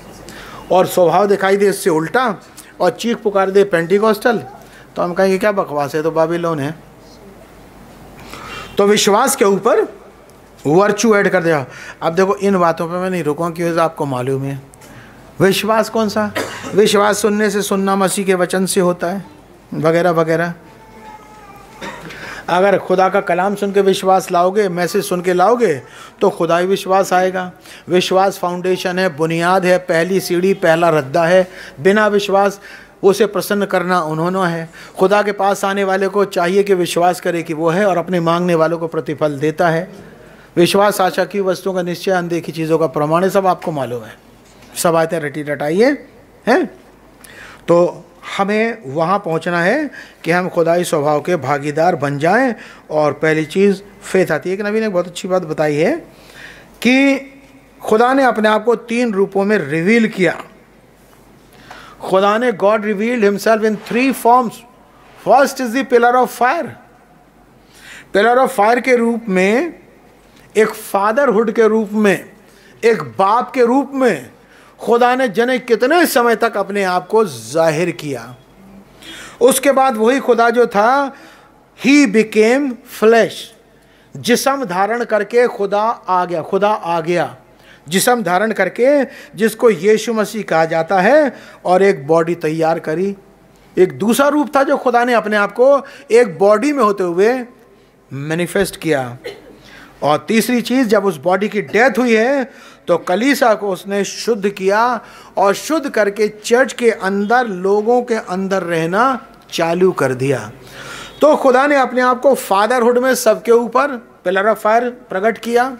उसने बेटे के रूप में हमारे बीच में अपने आप को प्रकट किया और आज कलीसिया में लोगों के अंदर जीवन में रहकर अपने आप को ज़ाहिर कर रहा है।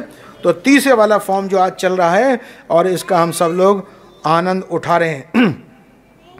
तो जब खुदावंद का यीशु मसीह का लहू हमको धो करके शुद्ध और साफ़ करता है और पवित्र आत्मा का बपतिस्मा हमारे अंदर उतार देता है, उस समय हमारा नेचर चेंज हो जाता है। जिसे कहा जाता है नया जन्म हो गया है और डिवाइन नेचर हमारा बन जाता है। फिर हमारे अंदर, हमारे दिल में खुदा रहने लगता है और फिर वो वो काम हम करने लगते हैं जो खुदा किया करता है। डिविनिटी आ जाती है खुदाइत आ जाती है। और गॉड हमसे एक्सपेक्ट करता है कि हम उसके स्वभाव के बने। देखिए, इस बात पे हम बहुत ज़ोर देते हैं, आप सब तो देखते ही हो। बातें तो हम प्रकाशन की वो सब भी करते हैं, लेकिन इस बात पे हम ज़्यादा ज़ोर देते हैं कि हमारा नेचर, बिहेवियर, कैरेक्टर डिवाइन हुआ कि नहीं हुआ। अगर वो नहीं हुआ तो नॉलेज से कुछ नहीं फ़ायदा, बाकी पढ़ाई लिखाई से कोई नहीं फ़ायदा। सब कुछ बेकार चला जाएगा। एग्ज़ाम्पल दी गई है कि एक सुअर होता है, उसका नेचर है कीचड़ में रहना, गंदगी में रहना। स्वभाव उसका। बाई नेचर उसको अच्छा लगता है। अगर उसको उस एटमॉस्फेयर से निकाल लाओ, एक अच्छी जगह नहलाओ, धुलाओ क्रीम पाउडर लगा दो सेंट लगा दो, खुशबूदार जगह रखो, साफ़ कमरे में रखो, उसको सोफे पर बैठाओ, बढ़िया सब कुछ करो तो मजबूरी में वो कैद का अनुभव करके वहाँ पर समय काटेगा। लेकिन जैसी उसको एक छोटा सा गली खुली मिली, वो सीधा देखेगा आसपास कहाँ है नाला। नाला, नाली कुछ भी मिल जाए, वो आपके महँगे सेंट की फ़िक्र नहीं करेगा और साबुन की फ़िक्र नहीं करेगा, जिससे मैं नहलाया धुलाया गया था, वो धड़ाम से जाकर कीचड़ में लचड़ पचड़, खचड़ पचड़, और खुशी से आनंद करेगा, अब आया मज़ा, ज़िंदगी का आनंद तो यही है। क्यों? बाय नेचर उसको गंदगी कीचड़ पसंद है। लेकिन एक मेमना भेड़, उसको सफ़ाई पसंद है बाय नेचर फाख्ता सफ़ाई पसंद है।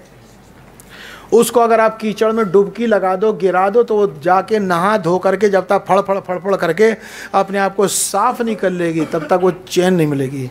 एक मेमने को आप कीचड़ के नाले में पटक दो, वो मैं मैं चिल्ला चिल्ला के सारी दुनिया सर पर उठा लेगा। क्यों? उसको वो चीज़ पसंद नहीं है, अच्छी नहीं लगती, उसका नेचर नहीं है, ऐसी गंदगी में रहना। क्रिश्चियन,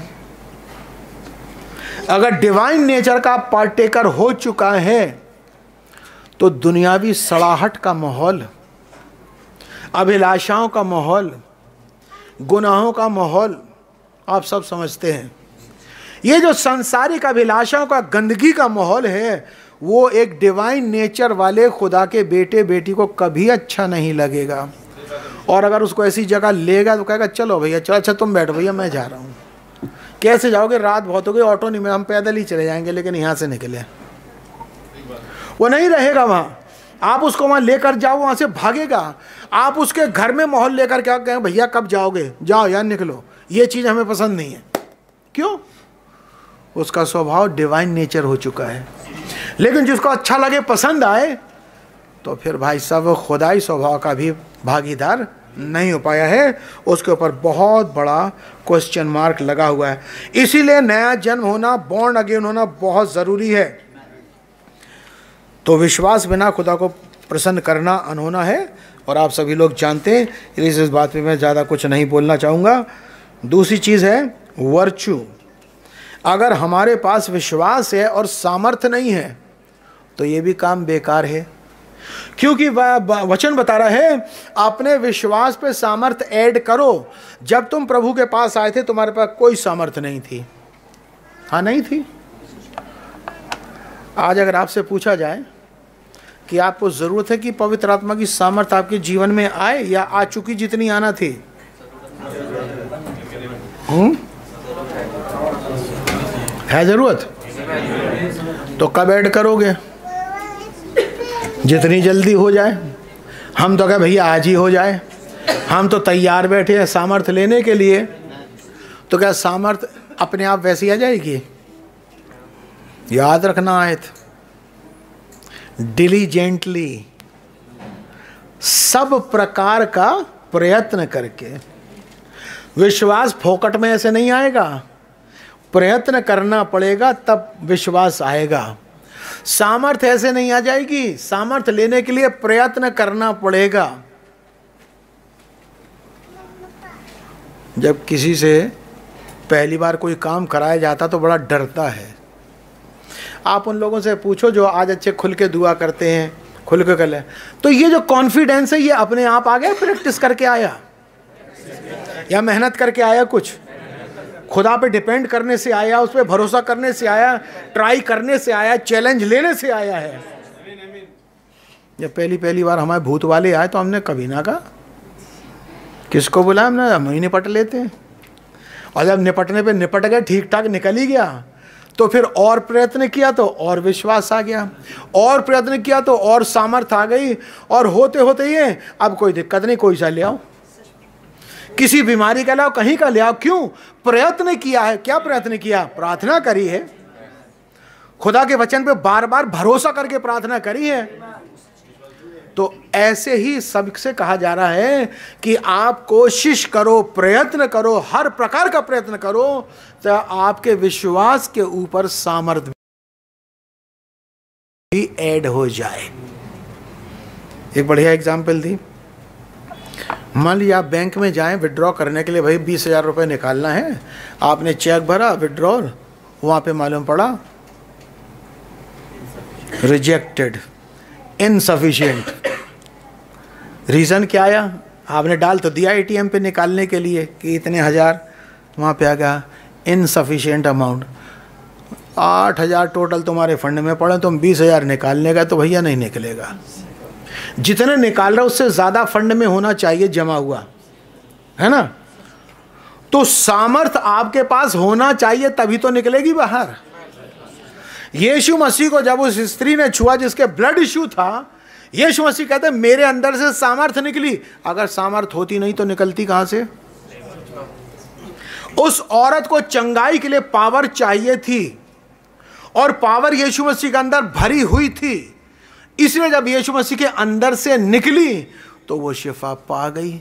इसलिए वर्चू का होना पावर का होना सामर्थ का होना बहुत ज़रूरी है। बाइबल कहती है कि आतिमुथ से कहता है, पौलुस, कि जल्दबाजी में किसी भी सिर पे हाथ मत रख देना और दूसरे के गुनाह में भागीदार मत हो जाना। और नबी ने समझाया, जब हम हाथ रखते हैं बाई टचिंग तो बिना छुए भी काम हो जाता, लेकिन बाई टचिंग क्या होता है? जब हम हाथ रखते हैं तो हमारे हाथ के अंदर जो पवित्र आत्मा की वर्चू सामर्थ सर्कुलेट करती है।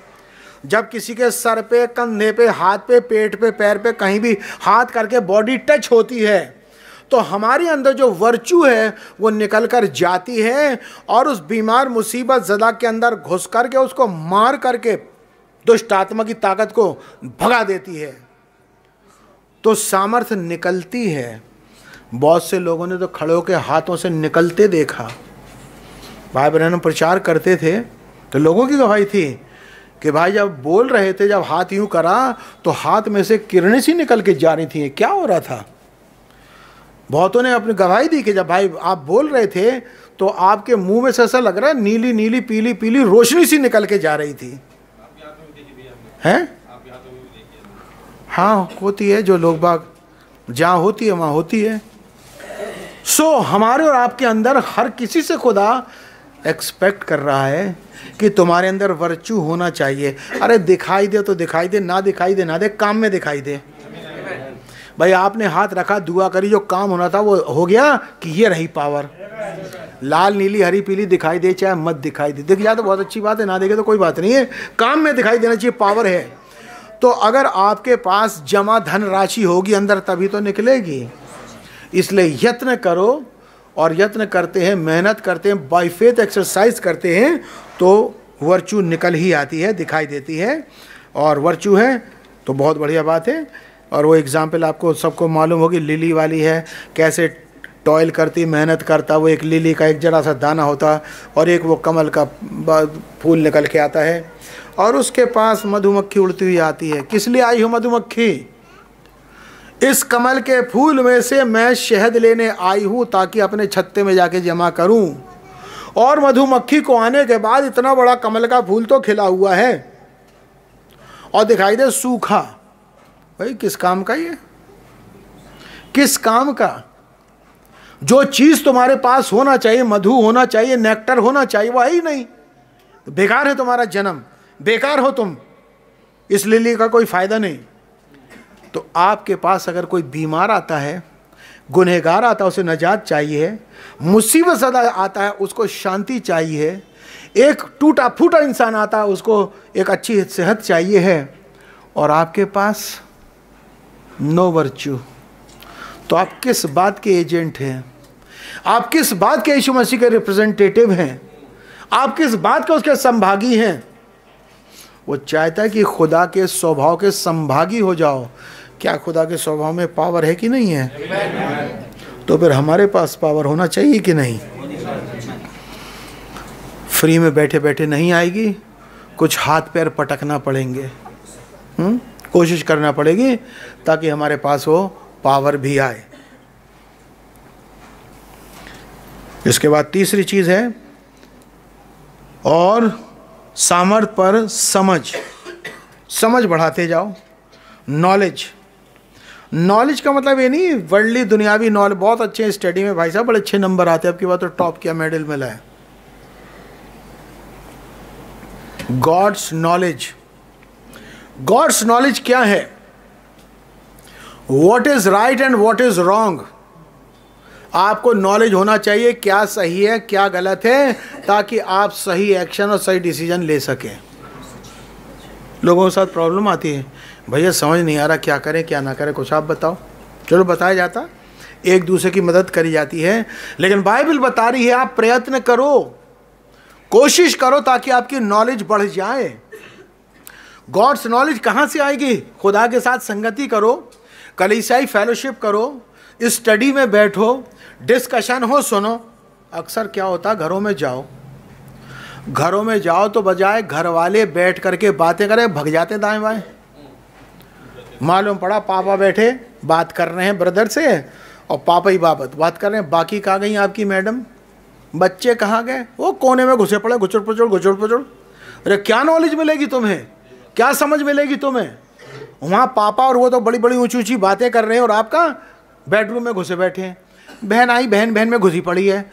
भैया भैया भैया घुसे पड़े हैं। दोस्त आए, दोस्त दोस्त घुसे पड़े हैं। अरे, ये मौका है, बैठो वहाँ, चार बातें सीखो। कोई मैन ऑफ़ गॉड आपके घर में आया, कोई सीज़न आदमी आया हुआ है, अरे सुनो, अगर वो बाज़ार की बात भी करेगा तो भी आपको नॉलेज दे जाएगा। अगर झगड़े की करेगा तो भी नॉलेज दे जाएगा। कलाम की करेगा तो भी दे जाएगा। लेकिन क्या हो रहा? नहीं, वो ना उन लोग बात कर रहे हैं बड़े बड़े बातें कर रहे हैं। तो तुम छोटे छोटे क्या कर रहे हो? मोबाइल पे पूछ रहे आजकल कौन सा आया है? कौन सा गेम नया लोड हुआ है? कहाँ से लोड और कहाँ से डाउनलोड होता है और जिन्हें क्या क्या मेमोरी और फलान धमाका होता है। और जो असली काम होना था वो ड्राइंग रूम में हो रहा है। वहाँ से आप एबसेंट हैं। तो टू नॉलेज टू जज what is right and what is wrong जब तक आपके पास क्रिश्चियन नॉलेज नहीं होगी क्रिश्चियन फेथ नहीं होगा क्रिश्चियन वर्च्यू नहीं होगी, आपको कुछ नहीं पता पड़ पाएगा। नॉलेज बड़े काम की चीज़ है। ये ऑर्गेनाइजेशन वाली नॉलेज की बात नहीं हो रही है। एक बस छोटी सी बात है कि आपके पास गॉड्स नॉलेज होना चाहिए। वर्ड ऑफ़ गॉड की नॉलेज होना चाहिए।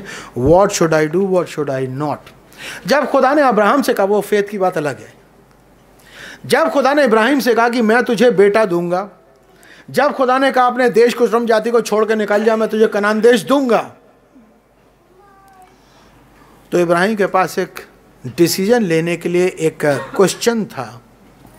मैं इनकी बात मानूं या ना मानूं?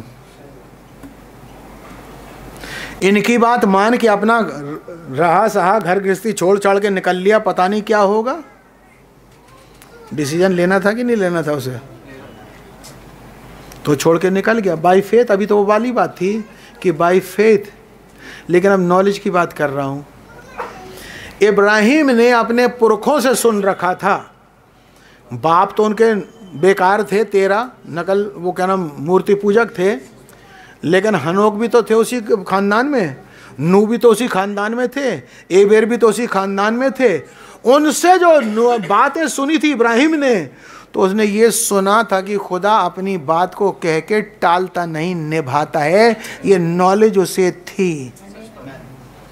कि खुदा अगर किसी बात को कहता है तो वह टालता नहीं है। अगर उसने कहा है कि मैं तुझे कनान देश दूँगा तो टालता नहीं है। अगर उसने कहा है कि मैं तुझे औलाद दूँगा तो वो टालता नहीं है। इसलिए मुझे इस बात का फैसला करने में, जज करने में शुड आई बिलीव और नॉट नो प्रॉब्लम आपको पता पड़ जाए, बंदा बात कह के निभाता है तो उसकी बात मानने में आपको क्या परेशानी होगी? कुछ भी नहीं? क्या भैया तो प्राण जाए पर वचन न जाए वाला आदमी, इसकी बात मानने में तो कोई परेशानी है ही नहीं क्यों? क्योंकि ये तो नॉलेज हमें है, इतना तो हमें ज्ञान है। और भाई ये ये हैं मिस्टर डेविल ये कहते कुछ है, करते कुछ है, इनकी बात मान लो। ये बाई गॉड के कह रहे हैं, यहोवा की कसम खा के कह रहे भैया, तुम्हारा नाम शैतान है ना डेविल होना ना। तुम सच कहो तो भी झूठ और झूठ कहो तो भी झूठ। अगर वो बहुत से लोग बड़े बड़े बेवकूफ़ी के काम करते हैं। कि भाई, इस बात को तो शैतान ने भी कहा है। तो मैंने शैतान की हम सुनते ही नहीं। तुम शैतान की मान गए कि हाँ क्यों? उसने सही बात कही थी ना, जैसे बाइबल में लिखा है। भजन संहिता में लिखा हुआ है, खुदा दुष्ट से कहता, मेरी विधियों का वर्णन करने से तुझे क्या काम, जबकि तू उन्हें नहीं मानता? तो शैतान अगर तू झूठ बोले तो भी झूठ है। और अगर तू सच बोले तो भी तू झूठ है। तेरी बात तो ना सुनना है और ना मानना, लेकिन खुदा, तू कुछ भी बोले तो सत्य है। समझ में ना आए तो भी सत्य है। उल्टी लगे तो भी सत्य है। तेरी बात पे फैसला कर लेने में और मान लेने में भला ही है। आज तक कभी बुरा नहीं हुआ। जिसको नॉलेज हो जाती है। देखिए, अभी मैं फेथ की बात है ना नॉलेज है जिसको कि खुदा कह के पछताता नहीं, खुदा कह के पलटता नहीं खुदा कह के बात से टालता नहीं। तो खुदा की आयत पे आपने भरोसा कर लिया कि आपको आज तो नॉलेज है लेकिन ये नॉलेज आपके जीवन भर आपको काम देगी। जीवन भर। कि देखो अगर बाइबल में लिखा है ना तो भैया चाहे कैसे भी हालात हो उसको मान लो। लेकिन भाई मान लो अगर वो बात ना हो पाई तो बड़ा नुकसान बाइबल की बात ना हुई तो ये क्या कह रहे हो आप? तो मैं क्या इतनी भी नॉलेज नहीं है कि आकाश और पृथ्वी टल जाएँगे, लेकिन बाइबल की बातें नहीं टलेंगी? क्या भाई लिखा तो है? तो फिर तुम्हारी नॉलेज क्या कह रही है? आकाश, पृथ्वी टलेगा, बाइबल का वचन नहीं टलेगा। जब ये नॉलेज है, आपको तो बाइबल के अनुसार क्यों नहीं कर लेते? अब हम लोग बातें कर रहे थे। बात चली, भैया एक सिस्टर ने विजन दो बाइबल यूँ फेंकी बाइबल यूँ आई एक सिस्टर ने विजन देखा, भाई कॉल ने यूँ फेंकी बाइबल और यूँ आई मैंने कहा, ऐसे विजन का करना क्या? बाइबल फेंकने, फाड़ने की बात कौन कर रहा है यार? बात वो कर जो लिखी वाली है। अरे भाई, एक एक एक भाई ने ख्वाब देखा, एक ब्रदर ने ख्वाब देखा, और बाद में बड़ा सारे उस पर निकल गए, और जब दस साल सब बर्बाद हो गए, तब बात सामने वो पट्टा झूठे ख्वाब बताता था। कर लो, तुम्हारी तो होगी सबकी ज़िंदगी तबाह। अब अगले ख्वाब के चक्कर में आ जाना। अगले जो ख्वाब के चक्कर में आना, दर्शन के चक्कर में आना भाई सुनो, मोटी सी बात है, कोई सा भी ख्वाब हो और कोई सा भी दर्शन हो, अगर वो बाइबल से मेल नहीं खाता तो गलत है। और एक तुम्हें और बता दो, नबी कहता है कि मैं तुम सबसे ज़्यादा दर्शन देखता हूँ। मैं डेली दर्शन देखता हूँ, सैकड़ों देखता हूँ, लेकिन जब मैं प्रत्येक दर्शन को उत्पत्ति टू प्रकाशित के टैली नहीं कर लेता, मैं तुमसे किसी से बोलता ही नहीं। कितने हज़ारों पड़े मेरे दर्शन यहाँ पर। जो बहन जी ने देख लिया था, उसी पर उनने सारी कलीसिया आधारित कर दी, वो भाई साहब ने देखा, सारी कलीसिया ने फैसला कर दिया। चने कितने पट्टे ने बता दिए? हैं? उनने वहाँ अमेरिका में वर्जन देखा था उस पर सारी कलीसिया लुट गई। कहीं और विजन देखा था, वहाँ पे वो कलीसिया बैठ गई। अब एक और नया दी, किसी ने ख्वाब देख लिया तो उस पर सारी कली, अब कलीसिया आधारित तुम्हारे ख्वाबों पे है या ये अमिट वचन पे है? ख्वाबों पे उड़े चले जा रहे मैंने कहा, नबी ने ख्वाब बताया, एक हमारे यहाँ विक्टर हुआ करते विक्टर जाधव महाराष्ट्र में। और जब उन्होंने ब्रदर ब्रैनम को अपना ड्रीम बताया तो ब्रदर ब्रैनम मुस्कुरा के कहते brother Victor your dream is mights very sweet but it is wrong ख्वाब तो आपका बड़ा प्यारा ही, ऐसा है जैसे लव स्टोरी एक? इतना बढ़िया ड्रीम है आपका कि सुनो, मज़ा आ जाएगा, बहुत बढ़िया इट्स वेरी स्वीट लेकिन ये कलाम के मुताबिक गलत है। देखो, सिद्धांत हीरा हमारे हिंदुस्तान के Victor, bishop Victor Jadhav Maharashtra के बड़े खुश हो रहे थे भाई बहनों को जब मैं बताऊँगा तो शायद वो कहें, O brother God bless you आपको भी विजन आते हैं, आपको भी ड्रीम दिखाई देते हैं। मैं तो खैर देखते ही देखता हूँ। चलो, आप मेरे भाई हो। एक तो मिला इंडिया में, जो दर्शन देखने वाला, उनने पहले ही कर दिया। है? पहले ही पंचर कर दिया। ना ज़्यादा भूलो बाद में पहले ही साफ़ कर दिया। हम्म। तो जैनुअल होली घोस्ट नॉलेज चाहिए। और जब आप देखें कि कोई बात कट रही है, बाइबल से मेल नहीं खा रही है तो भैया ऐसी वाली नॉलेज को दूर रखो। तो बहुत सारी नॉलेज हो सकती है, लेकिन ख़ास बात यह है कि आपको फैसले करने के लिए कलाम के मुताबिक जो नॉलेज मिल रही है, वो ठीक है कि नहीं। और समझ और समझ पर संयम संयम अर्थात टेम्परेंस टेम्परेंस अर्थात संयम संयम क्या है? शारीरिक अंगों पर अपना संयम रखना वो तो अलग बात है ही है। आपको अपने टेम्पर पे कैसे कंट्रोल रखना है? आपको अपनी ज़बान पे कैसे कंट्रोल रखना है? अपने प्रेम पे कैसे कंट्रोल रखना है? अपने धीरज पे कैसे कंट्रोल रखना है? आपकी जो स्पिरिचुअल फैकल्टीज़ हैं, उनके ऊपर आप कैसे कंट्रोल करते हैं, इसको कहते हैं टेम्परेंस वर्ल्डली टेम्परेंस क्या कहलाता? आँख पे कंट्रोल ज़बान पे कंट्रोल कान पे कंट्रोल हाथ पे कंट्रोल पैर पे कंट्रोल पेट पे कंट्रोल वो वो टेम्परेंस है, सही बात है, लेकिन यहाँ जो बात हो रही है, आप देखिएगा कि बहुत सारे बिलीवर लोग मिलेंगे, बाहर से देखने में बहुत अच्छे बिलीवर मिलेंगे। लेकिन ज़रा सी एक बात आ गई, नफ़े नुकसान वाली, फिर देखिए उनका। फ़ायदा तो भाई साहब, कौन सी आज वो सारी की सारी गोड़ देंगे आए थे फ़ायदा है, सब भूल जाएँगे। ज़रा सा अपना बेनिफिट होना चाहिए, कहाँ की मसीहत, कहाँ का विश्वास, सब भूल जाएँगे। जरा सी कोई आपने खींचा खींचातानी कर दी, गुस्से में भड़क उठेंगे, और पता नहीं कहाँ से कहाँ गाली गलौज, लफड़ा झगड़ा भी कर जाएँगे। तो टेम्परेंस का मतलब है, आपको अपनी अभिलाषाओं पे, अपनी इच्छाओं पे, अपनी आत्मा पे कंट्रोल है कि नहीं है? अगर उन पे कंट्रोल है तो बहुत बढ़िया बात है। और अगर कंट्रोल नहीं है तो फिर बेकार की बात है। एक बहुत बढ़िया बात बता रहा है नबी यहाँ पर कि ये सब चीज़ें एक दूसरे के साथ मिलाते जाना ऐड करते जाना है। यहाँ पे लिखा, उसके ऊपर ऐड करते जाओ, बढ़ाते जाओ बढ़ाते जाओ ऐड करते जाओ। एक बहुत बड़े शब्द नबी ने इस्तेमाल किया और वो है वर्ड है वल्कनाइज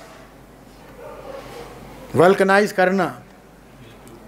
जिन्होंने साइकिल चलाई है या मोटरसाइकिल या पुराने ज़माने तो पंचर बहुत हुआ करते थे साइकिलों में, वो इस बात को जानते थे कि जब पंचर होता था या बस्ट होता था ट्यूब तो उस समय कैसे जुड़वाते? कितों को पता है? पंचर।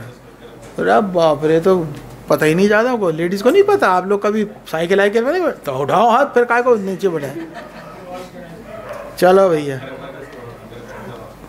वल्कनाइज करना क्या होता है कि एक ट्यूब है, जिसमें आप हवा भरते हैं तो उसमें पतला ट्यूब एकदम फूल जाता है मोटा हो जाता है, और फिर जब वो ट्यूब टायर के अंदर होकर चलता है पहिया तो जो गड्ढा पड्डा आता है, उस पर वो जंप ले जाता है और आपको झटका नहीं लगता।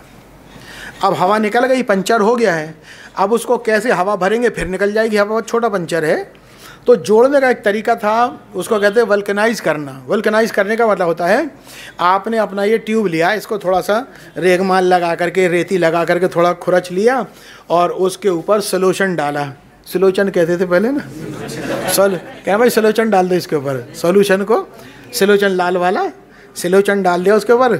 लगा दिया। और फिर एक और मटेरियल आता है जो रबड़ का ही होता है। मटेरियल रबड़ का होता है, मोटा रहता है, उसको लगा के जैसे आटे की तरह, गुंदा हुआ आटा होता ना, उसको उसके ऊपर ढेर सारा लगा लगा के, लगा लगा के, टुकड़े लगा लगा के उसको चिपका दिया। चिपकाने के बाद एक भट्टी होती थी, उसमें नीचे लोहे का गर्म प्लेटफॉर्म होता, तवा सा होता था, उसके ऊपर ट्यूब को रखा, ट्यूब के ऊपर वो ऊपर का हिस्सा रखा, लकड़ी का गुटका लगाया और टाइट करके कस दिया। अब होगा कि नीचे से जब वो गर्म होगा तो वल्कनाइज जो मटेरियल रबड़ का है, वो पिघलता है और पिघल करके बिल्कुल जैसे लेब शहद जैसा होता है, शहद की तरह वो मिक्सअप होकर के रबड़ से मिल जाएगा। अब वल्कनाइज करा मटेरियल जो लगा, वो भी रबड़ हो गया और जो आपका ट्यूब था, वो भी रबड़ हो गया। पंचर का छेद बंद हो गया और वो पूरा एक जैसा रबड़ हो गया। अब जब आप हवा भरोगे ट्यूब में चेक करने के लिए डाल के, बाल्टी में, तसले में तो जैसे जैसे ट्यूब फैलेगा, जो वेल्कनाइज मटेरियल आपने लगाया था, वो भी उसी के साथ फैलेगा। अर्थात वल्कनाइज मटेरियल रबड़ जो थी, और ट्यूब की रबड़ दोनों अब एक ही टाइप की हो गई। दूसरे का एग्ज़ाम्पल सुन लीजिए। पुराने कपड़े में नए कपड़े का पैबंद नहीं लगाते हैं, क्योंकि पुराना कपड़ा जितना सुकड़ना था, सुकड़ चुका धुल धुल के कॉटन में होता ही है। पुराना कपड़ा पुराना, जितना सुकड़ना सुकड़ लिया, नया कपड़ा अगर आपने जितना बड़ा छेद है, लगा के उसको चारों तरफ़ से सिल दिया, जब धोएँगे तो नया जो पैच आपने लगाया, वो श्रिंक होगा। और जो श्रिंक होगा तो पुराने कपड़े में से वो निकल के टूट के आ जाएगा, और जो छेद इतना बड़ा था, वो इतना बड़ा हो जाएगा। क्योंकि मैच नहीं कर रहा। मैचिंग कराई जाती है, मटेरियल की मैचिंग। अब आप गुंदा हुआ आटा ले लीजिए इतना। उसमें आप बिल्कुल हार्ड आटा लाके रोटी बनाइए, बनेगी। जब तक इसको भी गूंद गूंद के उसके जैसा नहीं बनाया जाएगा, तब तक वो नहीं होगा। तो दो मटेरियल हैं, जब तक दोनों को एक क्वालिटी का नहीं बनाया जाएगा, वो आपस में मिक्स नहीं होंगे। वल्कनाइजेशन में यही होता है कि दो मटेरियल हैं, रबड़ है, दूसरा मटेरियल है, जब तक दोनों एक नहीं होंगे, वो मिल नहीं सकते। तो नबी बता रहा है कि faith and virtue and knowledge को वल्कनाइज करना है। आपके पास फेथ कौन सा क्वालिटी का है? होली घोस्ट वाला। वर्चू कौन सी है? होली घोस्ट वाली। नॉलेज कौन सी? दुनिया वाली।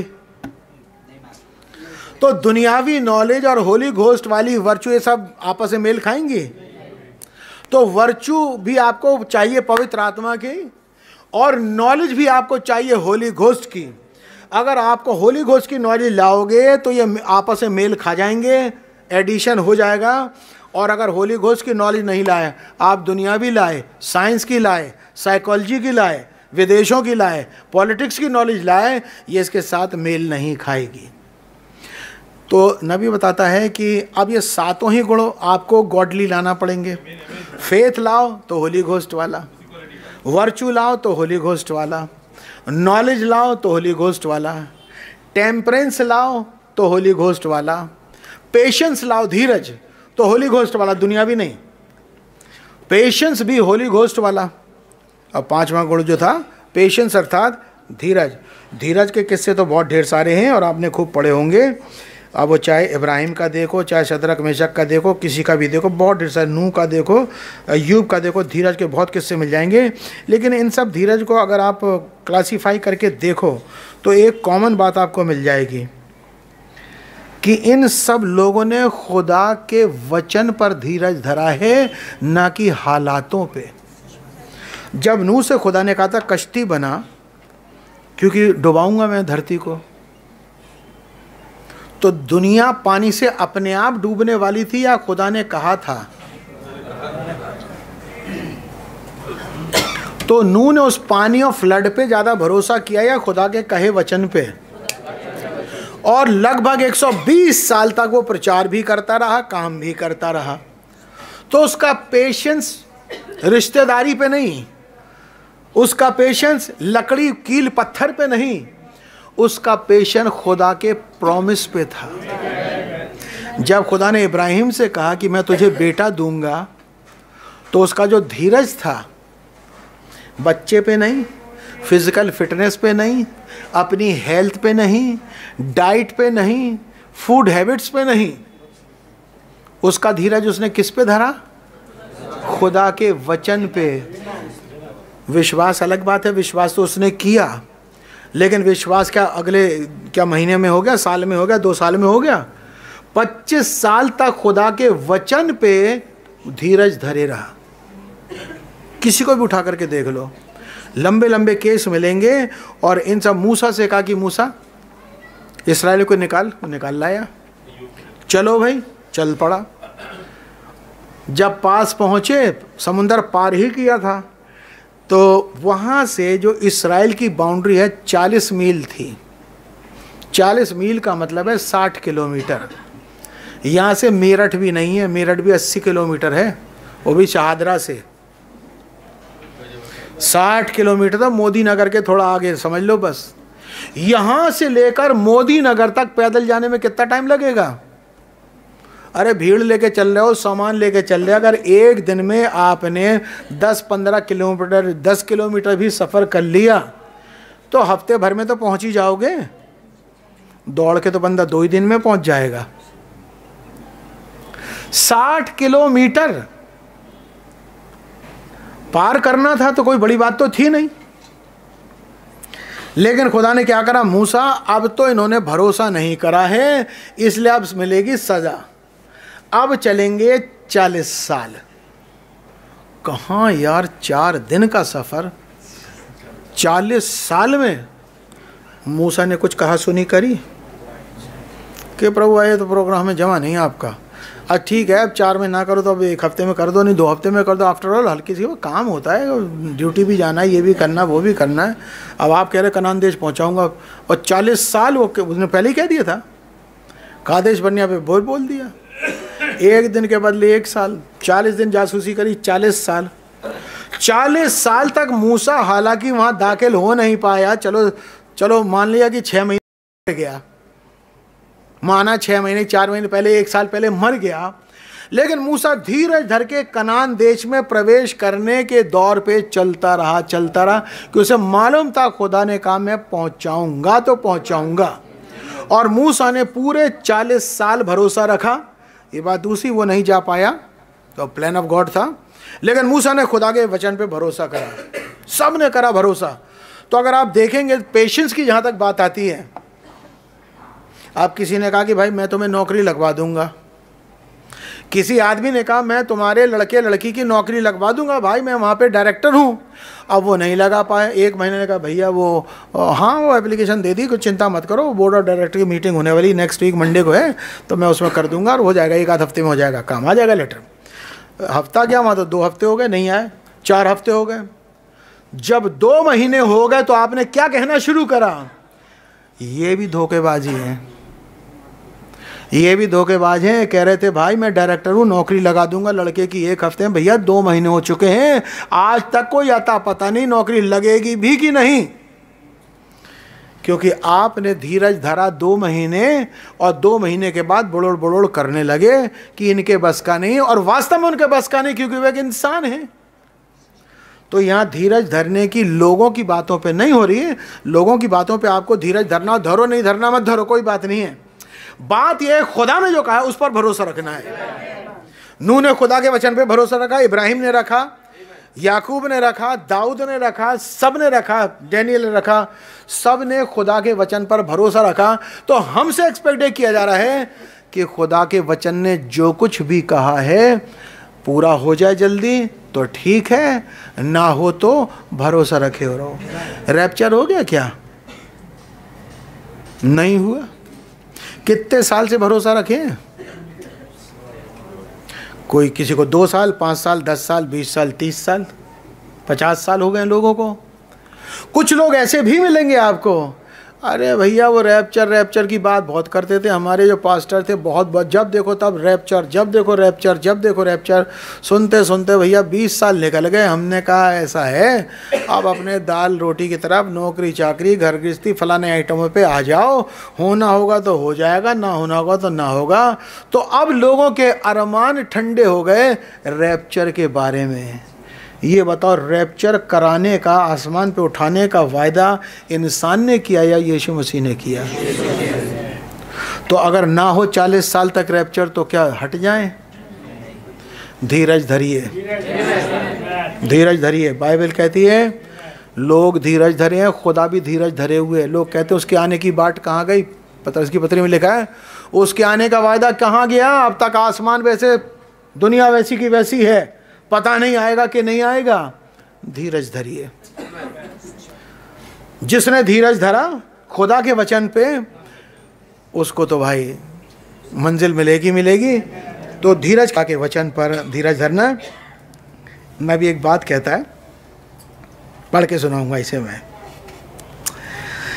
It's hard to do like I have tried to get this message over in the tabernacle to see that each member of the tabernacle become this. नबी कहता, मैं बड़ा मुश्किल काम है और मैंने बड़ी कोशिश करी है अपने भवन टेबरनेकल में जेफरसन विल में कोशिश करी है। इस मैसेज को लोगों के अंदर उतार दूँ कि वो उसको मान जाएँ और सही काम हो जाए। It is hard to do और ये बहुत मुश्किल है कर पाना। I have try to have patience मैंने कोशिश करी है कि मैं धीरज धरे रहूँ। This is thirty three years तैतीस साल हो चुके हैं। मेरे को चौंतीस साल हो चुके हैं। मैं अपनी बता रहा हूँ, मेरे को आज चौंतीस साल हो गए हैं प्रचार करते हुए। नबी कह रहा, मेरे को थर्टी थ्री ईयर्स हो चुके हैं। देखिए सी हैव पेशेंस धीरज धरो। मेरे को तैंतीस साल हो मैं कहूँगा, चलो ब्रदर ब्रहण शुक्र हो, मेरे को चौंतीस साल हो गए, चलो धीरज धरते हैं दोनों. Woman still bob their hair तैतीस साल मैंने प्रचार किया, कोशिश करी, लोगों को समझाया, टमने के लिए बताया कि औरतें बाल ना कटाएँ ना कटाएँ ना कटाएँ, मैंने पूरा ज़ोर लगा दिया। लेकिन आज भी मेरे को औरतें अपने चर्च में बाल कटाए दिखाई देती हैं। मुझे कैसा लगता होगा भाई साहब? ये बाल ना कटाएँ औरतें, ये मैं अपनी बात से बोलता हूँ या खुदा की बात है? नबी कह रहा woman still bob their hair still just the same जैसी पहले थी, तैतीस साल होगा मेरे को कहते कहते हैं आज भी मुझे बाल कटाई दिखाई दे। स्टिल वेयरिंग स्लैक्स तैतीस साल होगा, कहते कहते टाइट स्लैक्स मत पहनो जिसमें आपका जिस्म का प्रदर्शन होता है। लेकिन आज भी मुझे पहने दिखाई दे जाती हैं। The same but just have patience लेकिन फिर भी भाई धीरज धरो। ध्यान रखना, धीरज धरो कॉम्प्रोमाइज करने में बहुत बड़ा फ़र्क है। एक प्रीचर होगा जो तैतीस साल में एक बार भी नहीं कहेगा कि औरतें बाल ना कटाओ। एक बार भी नहीं कहेगा कि भाई स्लैक्स ना पहनो। एक बार भी नहीं कहेगा कि भाइयों सिगरेट ना पियो। एक बार भी नहीं कहेगा कि ऐसा ऐसा काम ना किया करो। तो वो धीरज धरने वाला नहीं है, वो डरपोक पास्टर है। वो कावड़ है, वो कहता ही नहीं है। लेकिन कान पकड़ के उठा उठा के फेंक दो। चूँकि तुमने बाल कटाए, भाई विजय चेक करना, जिसे काटो, भाई घुसना मत देना, बाहर निकाल लो। जो ऐसा काम कर, निकाल दो बाहर। ये तो एरोगेंसी आ गई, ये तो बदला लेना आ गया। धीरज तो तब है जब डांटने से आप बात नहीं आ रहे वो बहन जी बार रखे तो आज तो मेरे पे ही था वैसे सारा। तुम ही हरकत कर रही हो तो तुम ही पर है। ना करोगी तो तुम पे नहीं है। अगला जब बार बार कह रहा कि ये मत करो, डेंटिंग पेंटिंग मत करो, आप फिर भी कर रही हैं। आपका कान पकड़ के बाहर नहीं निकाला, आपकी इंसल्ट बेजती ऐसे नहीं करी आपका नाम लेकर के, लेकिन फिर भी आपको झेल रहे हैं दिस इज़ कॉल्ड पेशेंस पूछो क्या आप पसंद करते हो? नहीं। आपने भाई एक आध बार कहा, अरे सौ बार कहा। फिर भी लोग कर रहे हैं कि हाँ। तो फिर आप क्या कर रहे हैं? कहने से बाज नहीं आ रहे हैं। आयतें दिखाने से बाज नहीं आ रहे हैं। हर दो महीने उबल पड़ते हैं कहने में। लोग हरकत से बाज नहीं आ रहे हैं। नबी कहता it is very hard you ask the preacher जब आपका बच्चा आपके घर में आपकी ना सुने और आप साल में हर हफ़्ते उसे डांटें और हर हफ़्ते वो आपका विरोध करें, तब पूछेंगे आपसे, एक साल में कहो कैसा लगता है? आर यू हैप्पी वो कहेगा नो खुश होना बच्चे से कहना है। क्यों? अरे हर हफ़्ते हम समझाते हैं, हर हफ़्ते हम डांटते हैं, फिर भी नहीं सुन रहे हमारी। नबी कह रहा तैतीस साल मुझे पुलपिट में हो गए तैतीस साल में क्या आपने कहा एक दो बार? अरे भैया, कौन सा महीना गया जिसमें ना कहा ये बताओ। फिर भी मैं देख रहा हूँ, अपनी आँखों से लोग कर रहे हैं, मेरी आँखों के सामने। कहा जा रहा है हैव पेशेंस धीरज धरो। बहुत भारी गुजरता है।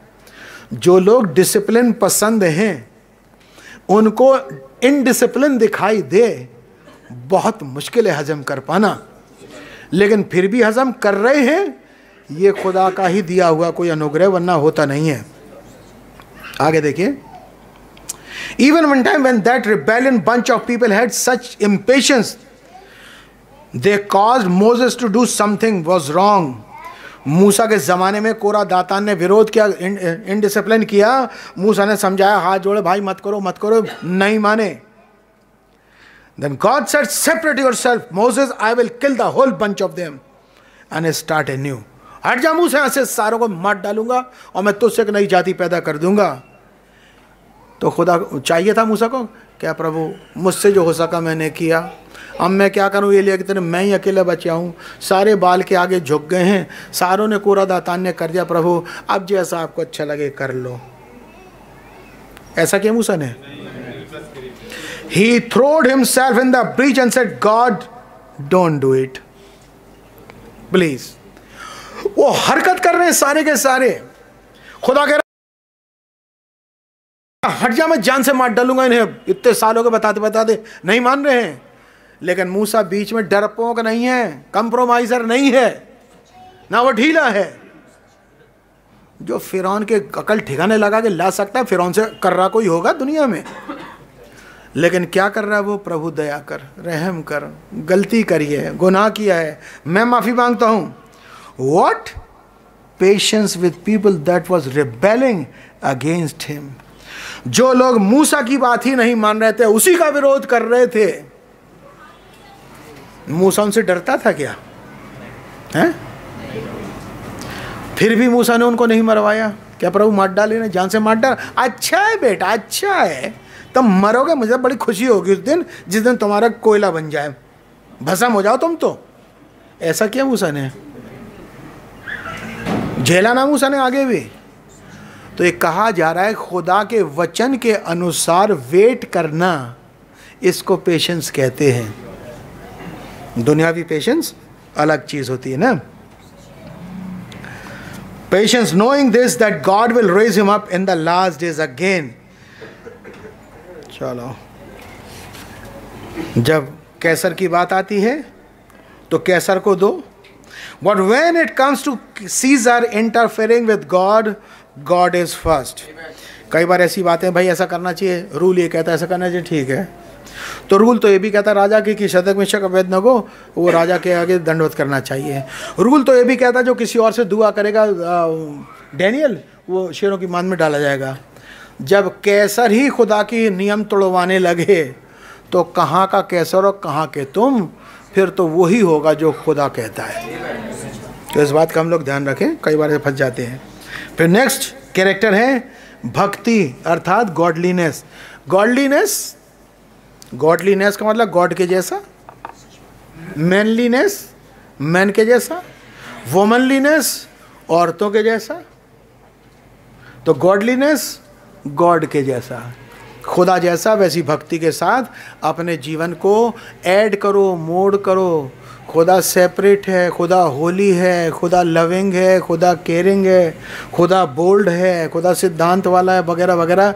जैसा नेचर बिहेवियर गॉड का है, ऐसा ही आप अपने आप को कर लो। उसको कहा जाएगा गॉडलीनेस पवित्र बनो जैसा तुम्हारा स्वर्गीय पिता पवित्र है। धीरज धीरजवंत हो जैसा वो धीरज धरता है। प्यार ऐसे करो जैसे खुदा प्यार करता अर्थात एक एक बहुत सारे गुणों का मिक्सचर है। अगर वो आप ऑपरेट करें, अपनी ज़िंदगी प्रैक्टिस करें तो कहा जाएगा कि हाँ भाई, सिद्ध बनो, जैसे तुम्हारा स्वर्गीय पिता सिद्ध है। उसका बाद अगला आइटम है ब्रदरली काइंडनेस जल्दी खत्म करो दो मिनट। ब्रदरली काइंडनेस भाईचारे की प्रीति।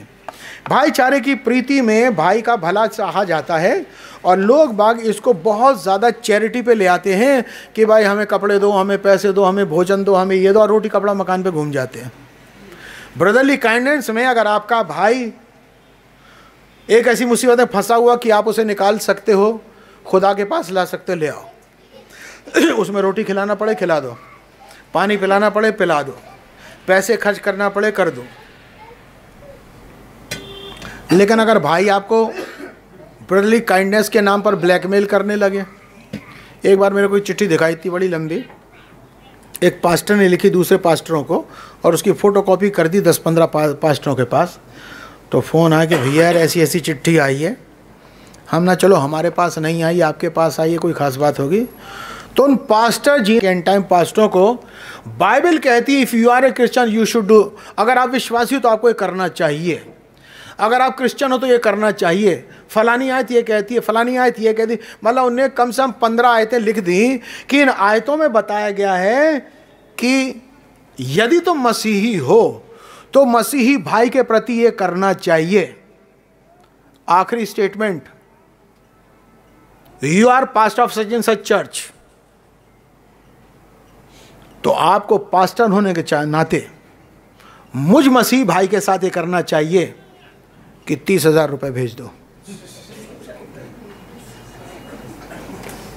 पंद्रह पास्टर पंद्रह तिया पैंतालीस, साढ़े चार लाख। अब आयतें तो वो लिखी हैं जो बाइबल में हैं। और नबी के कोट भी वो लिखे जो मैसेजेस में हैं। लेकिन इनका निचोड़ क्या है? तीस हज़ार। निचोड़ यह है कि तीस हज़ार मुझे भेज दो, अगर नहीं भेजते हो then you are not a believer मैं बहुत बढ़िया यार, ये तो गुंडागर्दी ब्लैक मिले अगर आप नहीं भेजते हो तो इस सारी आयतों पे आप अनफिट हो गए तो फिर काय के बिलीवर पास्टर तो छोड़ दो। मैं ना, वाह रे वाह। इसे ब्रदरली काइंडनेस कहते हैं। हम्म? ये तो डकैती है, चोरी है। स्टाइल है अपने अपने। ब्रदरली काइंडनेस का मतलब है, तरस खाओ, दया करो, अगर जो तरस के काबिल है। उस पर तरस खाओ, दया करो, करुणा करो। लोग तरस समझते हैं, रोटी, कपड़ा, मकान, बस। तरस खाओ का मतलब हमारा खर्चा उठाओ, हमें कपड़े दो, हमें रोटी दो, हमें ट्रांसपोर्ट दो, हमें ये करो, हमें ये करो, हमें ये करो। मतलब हमारा भला करते हो हम तुम्हारे पास कैंडिडेट हैं, मसीहत को प्रकट करने वाले। और मसीहत में चलने वाली बात है, भाई, इंसान तो कमज़ोर है, हर कोई तो चल नहीं सकता। हमारे लिए भी थोड़ा मुश्किल है। आप मदद कर दो तो उतना चल लेंगे। जितनी आप मदद करोगे, उतना चल लेंगे, जैसा मिशनों में होता है। जो मिशन हैं, जिन्होंने पुराने मिशन देखे, वो सब अच्छे से जानते हैं। जितने माली हैं, जितने चपरासी हैं, जितने ड्राइवर हैं, और जितने मिशन के कर्मचारी हैं, छोटे फोर्थ क्लास वाले, सब का ये साहब जी। साहब जी तो बड़े मसीह प्रेम से भरे हुए हैं। साहब जी प्रभु आपको बड़ी आशीष दे। मुझे तो दिन याद है कि जब आपने मुझे देखा था, मैंने वैसे तो दो दिन से खाना नहीं खाया था। आपने दो कुंटल गेहूँ ना केवल मुझे दिया, मेरे बच्चों को दिया, आज तक आपको दुआएँ देते हैं। अब जाड़े आ रहे हैं, देखेंगे। प्रभु दया करेगा, कोट कंबल कुछ। तो साहब जी मसीह प्रेम से भरे हुए मसीहत छलकेगी छलकेगी। है ना? तो भाईचारे की प्रीति क्या है? आपने भाई का भला चाहना सबसे बड़ी भाईचारे की प्रीति है कि उसको प्रभु के पास ले आना। बैक स्लाइड हो गया, उसको ले आना। गिर गया, उसको ले आना। उसको एक बार नहीं, चार बार उठा के खड़ा भी करना। उसकी मदद भी कर देना, चाहे रुपये पैसे से, चाहे सामान से, चाहे इससे, चाहे उससे, वो भी कर देना। लेकिन सारी उम्र करते ही रहना, वो गलत है। लास्ट आइटम है, और प्रेम। दैट इज़ द कैपिंग प्यार जो है गॉड इज़ लव और जो उसका आगापे लव है, आप सभी लोग अच्छी प्रकार से जानते हैं कि इन सब के ऊपर प्यार बढ़ाते चले जाओ। तो faith virtue knowledge temperance patience godliness brotherly kindness and love प्यार बढ़ाते जाओ, मसीह प्रेम बढ़ाते चले जाओ। ठीक? आप जानते हैं तो इसे समझाने की आवश्यकता नहीं, कई बार प्रचार भी किया जा सकता है, और किया जा चुका है। तो प्यार जो है कैप स्टोन है, और अगर आपने वो, अगर आपको ध्यान हो, जब फिगर भी बनाई गई थी तो ये पिरामिड ऐसा है।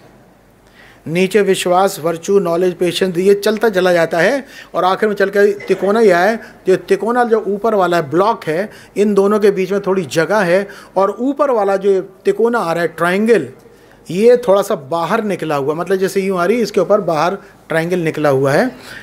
हाँ फ्लेंज है अगर बरसात पड़े, जैसे छत होती है, नीचे दीवार सीधी आ रही है और छत बाहर निकली रहे ताकि बारिश हो, पानी बाहर निकल जाए। तो ब्रदर ब्रैनन बनाया कि ये जो चैप्टर है, जिसको stature of a perfect man कहा जा रहा है, एक सिद्ध पुरुष का, नारी का जो डील डॉल है, वो इन गुणों से भरा हुआ, नीचे बहुत मोटा है, ऊपर पतला होता जा रहा है। जैसे जैसे रैप्चर नज़दीक आता जा रहा है, वैसे वैसे विश्वासियों की गिनती कम होती जा रही, घटती जा रही। क्यों? कोई विश्वास में तो चला वर्चू नहीं पा पाया तो वो भी निकल लिया। कोई वर्चू रही तो टेम्परेंस में गया, कोई धीरज में गया, कोई पेशेंस में, कोई गॉडलीनेस में ब्रदरली करने लोग हटते गए, गिरते गए, हटते गए, गिरते गए। आखिर में जो क्वालिटी वाले बिलीवर बचे हैं, वो बहुत थोड़े हैं और टेपर होता यार, वो दो चार बातें पढ़ के मैं ख़त्म करूँगा। And this church you see is coming smaller in the minority अगर आप देखें तो चर्च जो है बिल्कुल ट्रायंगल में नीचे बहुत बड़े लोग थे, हमारे चर्च तो नबी कह रहा है मैं मैसेज की बात कह रहा हूँ और गोशन की बात भी कह रहा हूँ, कि जो छोड़ के चले गए it's a whole lot sharper than that but just like to write that across there see it's come up to a needle point बिल्कुल नीडल पॉइंट पे नोक पे आ चुका है, until the church in the minority has got to get into a place इतनी minority होती चली जाएगी, होती चली जाएगी कि उस जगह कली से पहुँच जाएगी until it is the same kind of a ministry that this left because when this headstone comes back इतनी माइनॉरिटी हो जाएगी, कली से इतनी छोटी हो जाएगी, तब तक until it is the same kind of a ministry कि कलीसिया की सेवकाई बिल्कुल ऐसी हो जाएगी दैट दिस लेफ़्ट जो कि मतलब खुदावंद यीशु मसीह की थी नक्शे बता के बता रहे हैं वो कि देखो प्रभु की सेवकाई होती चली आ रही है। When this headstone comes back जबकि हेड स्टोन अर्थात खुदावंद यीशु मसीह आता है। And when it comes this church has got to be honed और जब प्रभु यीशु मसीह आए, लव का कैप स्टोन आए तो ज़रूरी है चर्च की होनिंग हो जाए, अर्थात घिसाई महीन रगड़ाई हो जाए मोटी मोटी चीज़ें तो मिल जाती हैं, लेकिन जब लकड़ी में, पत्थर में, लोहे में जब बिल्कुल फेस टू फेस मिलाना पड़ता है तो इतनी महीन फाइलिंग रगड़ाई घिसाई होती है, बिल्कुल इतनी महीन कि अगर हाथ यूँ चलाओ ना तो लगे नहीं कि दो पीस हैं, दोनों इतने पास मिला करके रगड़ रगड़ के ऊँचे नीचे को छील करके साफ़ कर दिया जाए। बहुत ही लेत पे काम होते हैं। रंदे से भी काम किए जाते हैं, रेगमाल से भी काम किए जाते हैं। ये फर्नीचर है, देखिए ये। इसमें जॉइंट हैं। इन जॉइंट्स को ऐसे मिला करके ठोका गया है कि मैं ये हाथ चला रहा हूँ। ये पता नहीं पड़ा इसमें पट्टी लगी हुई, रिम लगा हुआ है। ये देखिए, सब पीसेस हैं।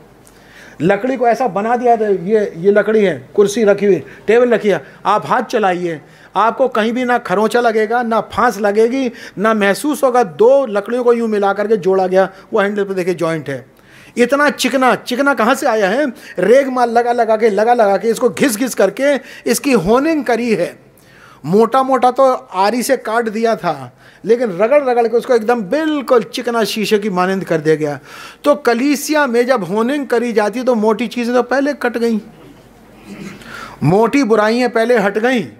याद रखिए व्हाट इज़ होनिंग मोटी बुराइयाँ अब शराब पीने वाला कोई नहीं रहा। सिगरेट पीने वाला कोई नहीं, आरी से कट गई है।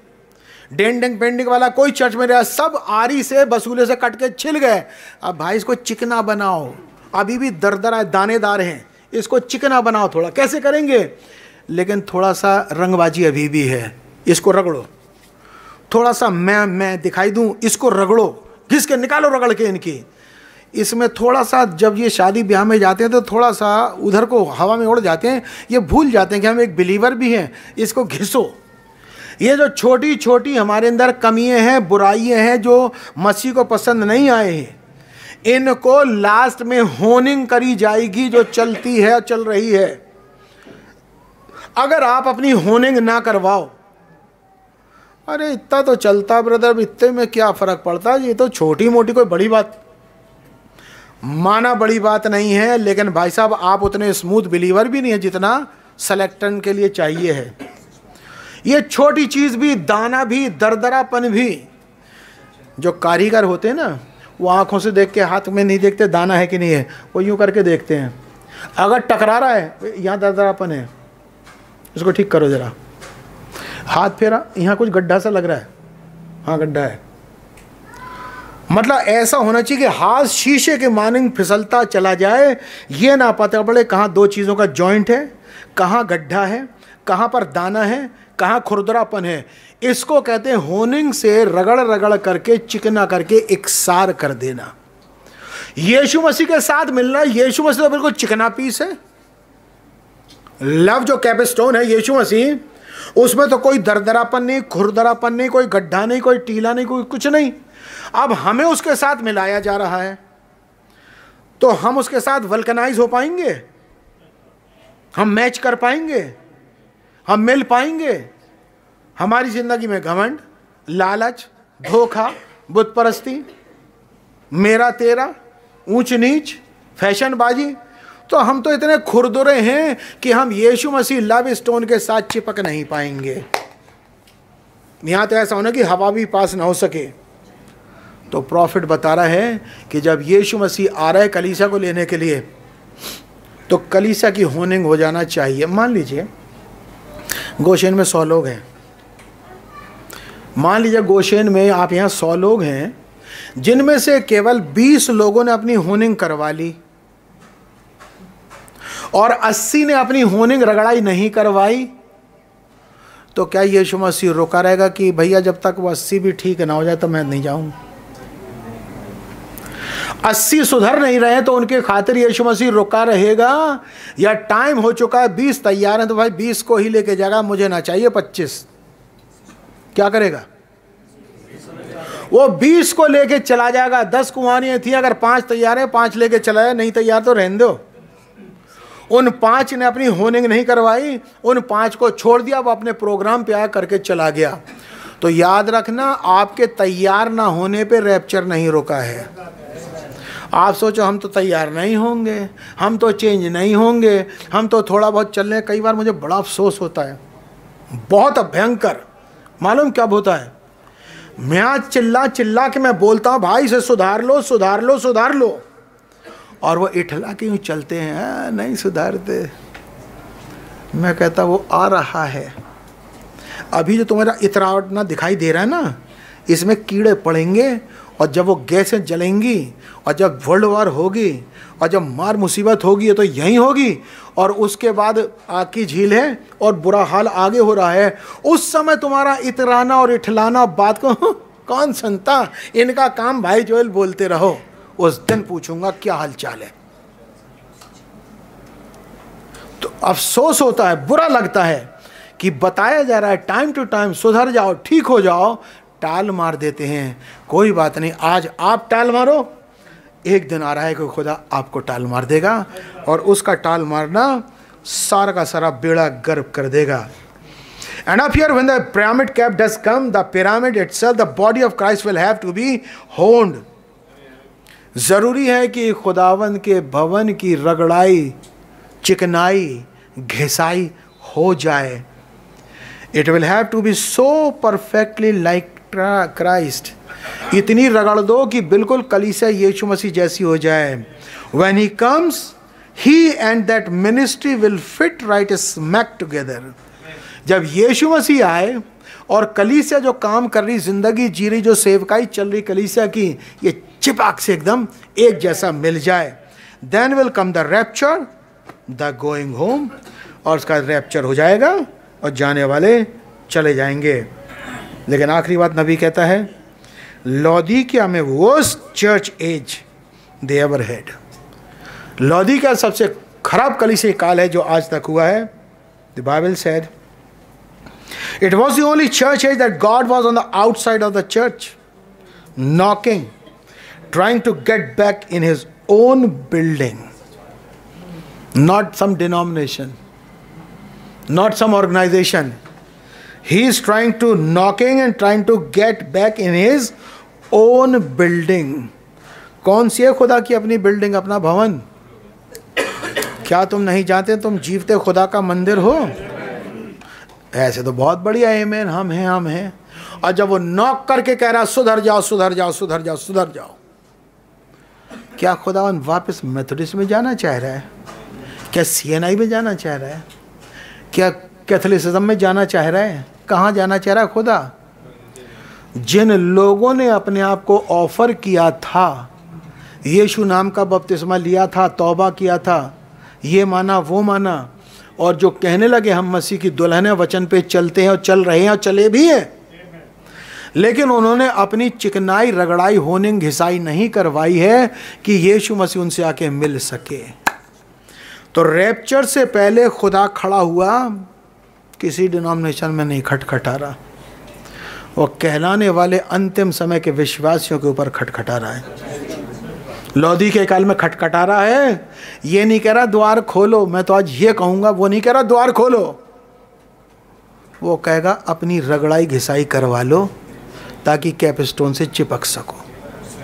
प्रभु, हम सब लोगों को आशीष दे कि हम उसके वचन में ठीक प्रकार से चल सके। बंध सके और जैसा प्रभु चाहता है, उसके अनुसार कर सके। आइए हम सब खड़े हो जाएँगे। और चूँकि समय काफ़ी हो चुका है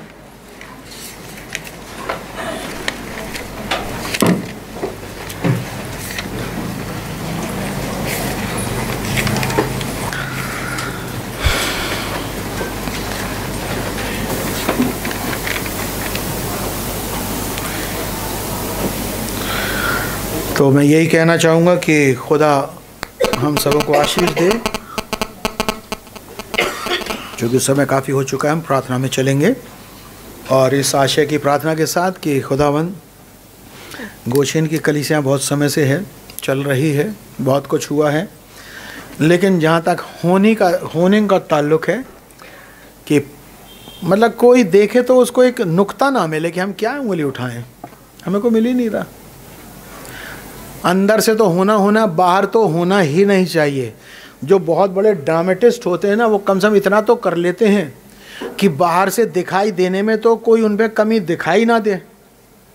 ये तो एक धोखेबाज भी कर लेता है। लेकिन अपने आप को बिलीवर कहने वाला बाहर से पकड़ में आ जाए।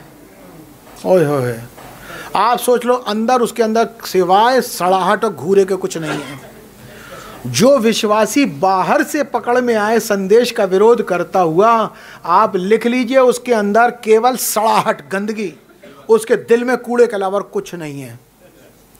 क्योंकि जो संतों में अपना नाम लिखाना चाहता, वो इतना तो कर लेता, बाहरी रूप इतना चेंज कर लेता है कि बाहर से वो संत दिखाई दे। अंतर भले ही हेरा फेरी चल रही हो, बाहर तो दिखता है।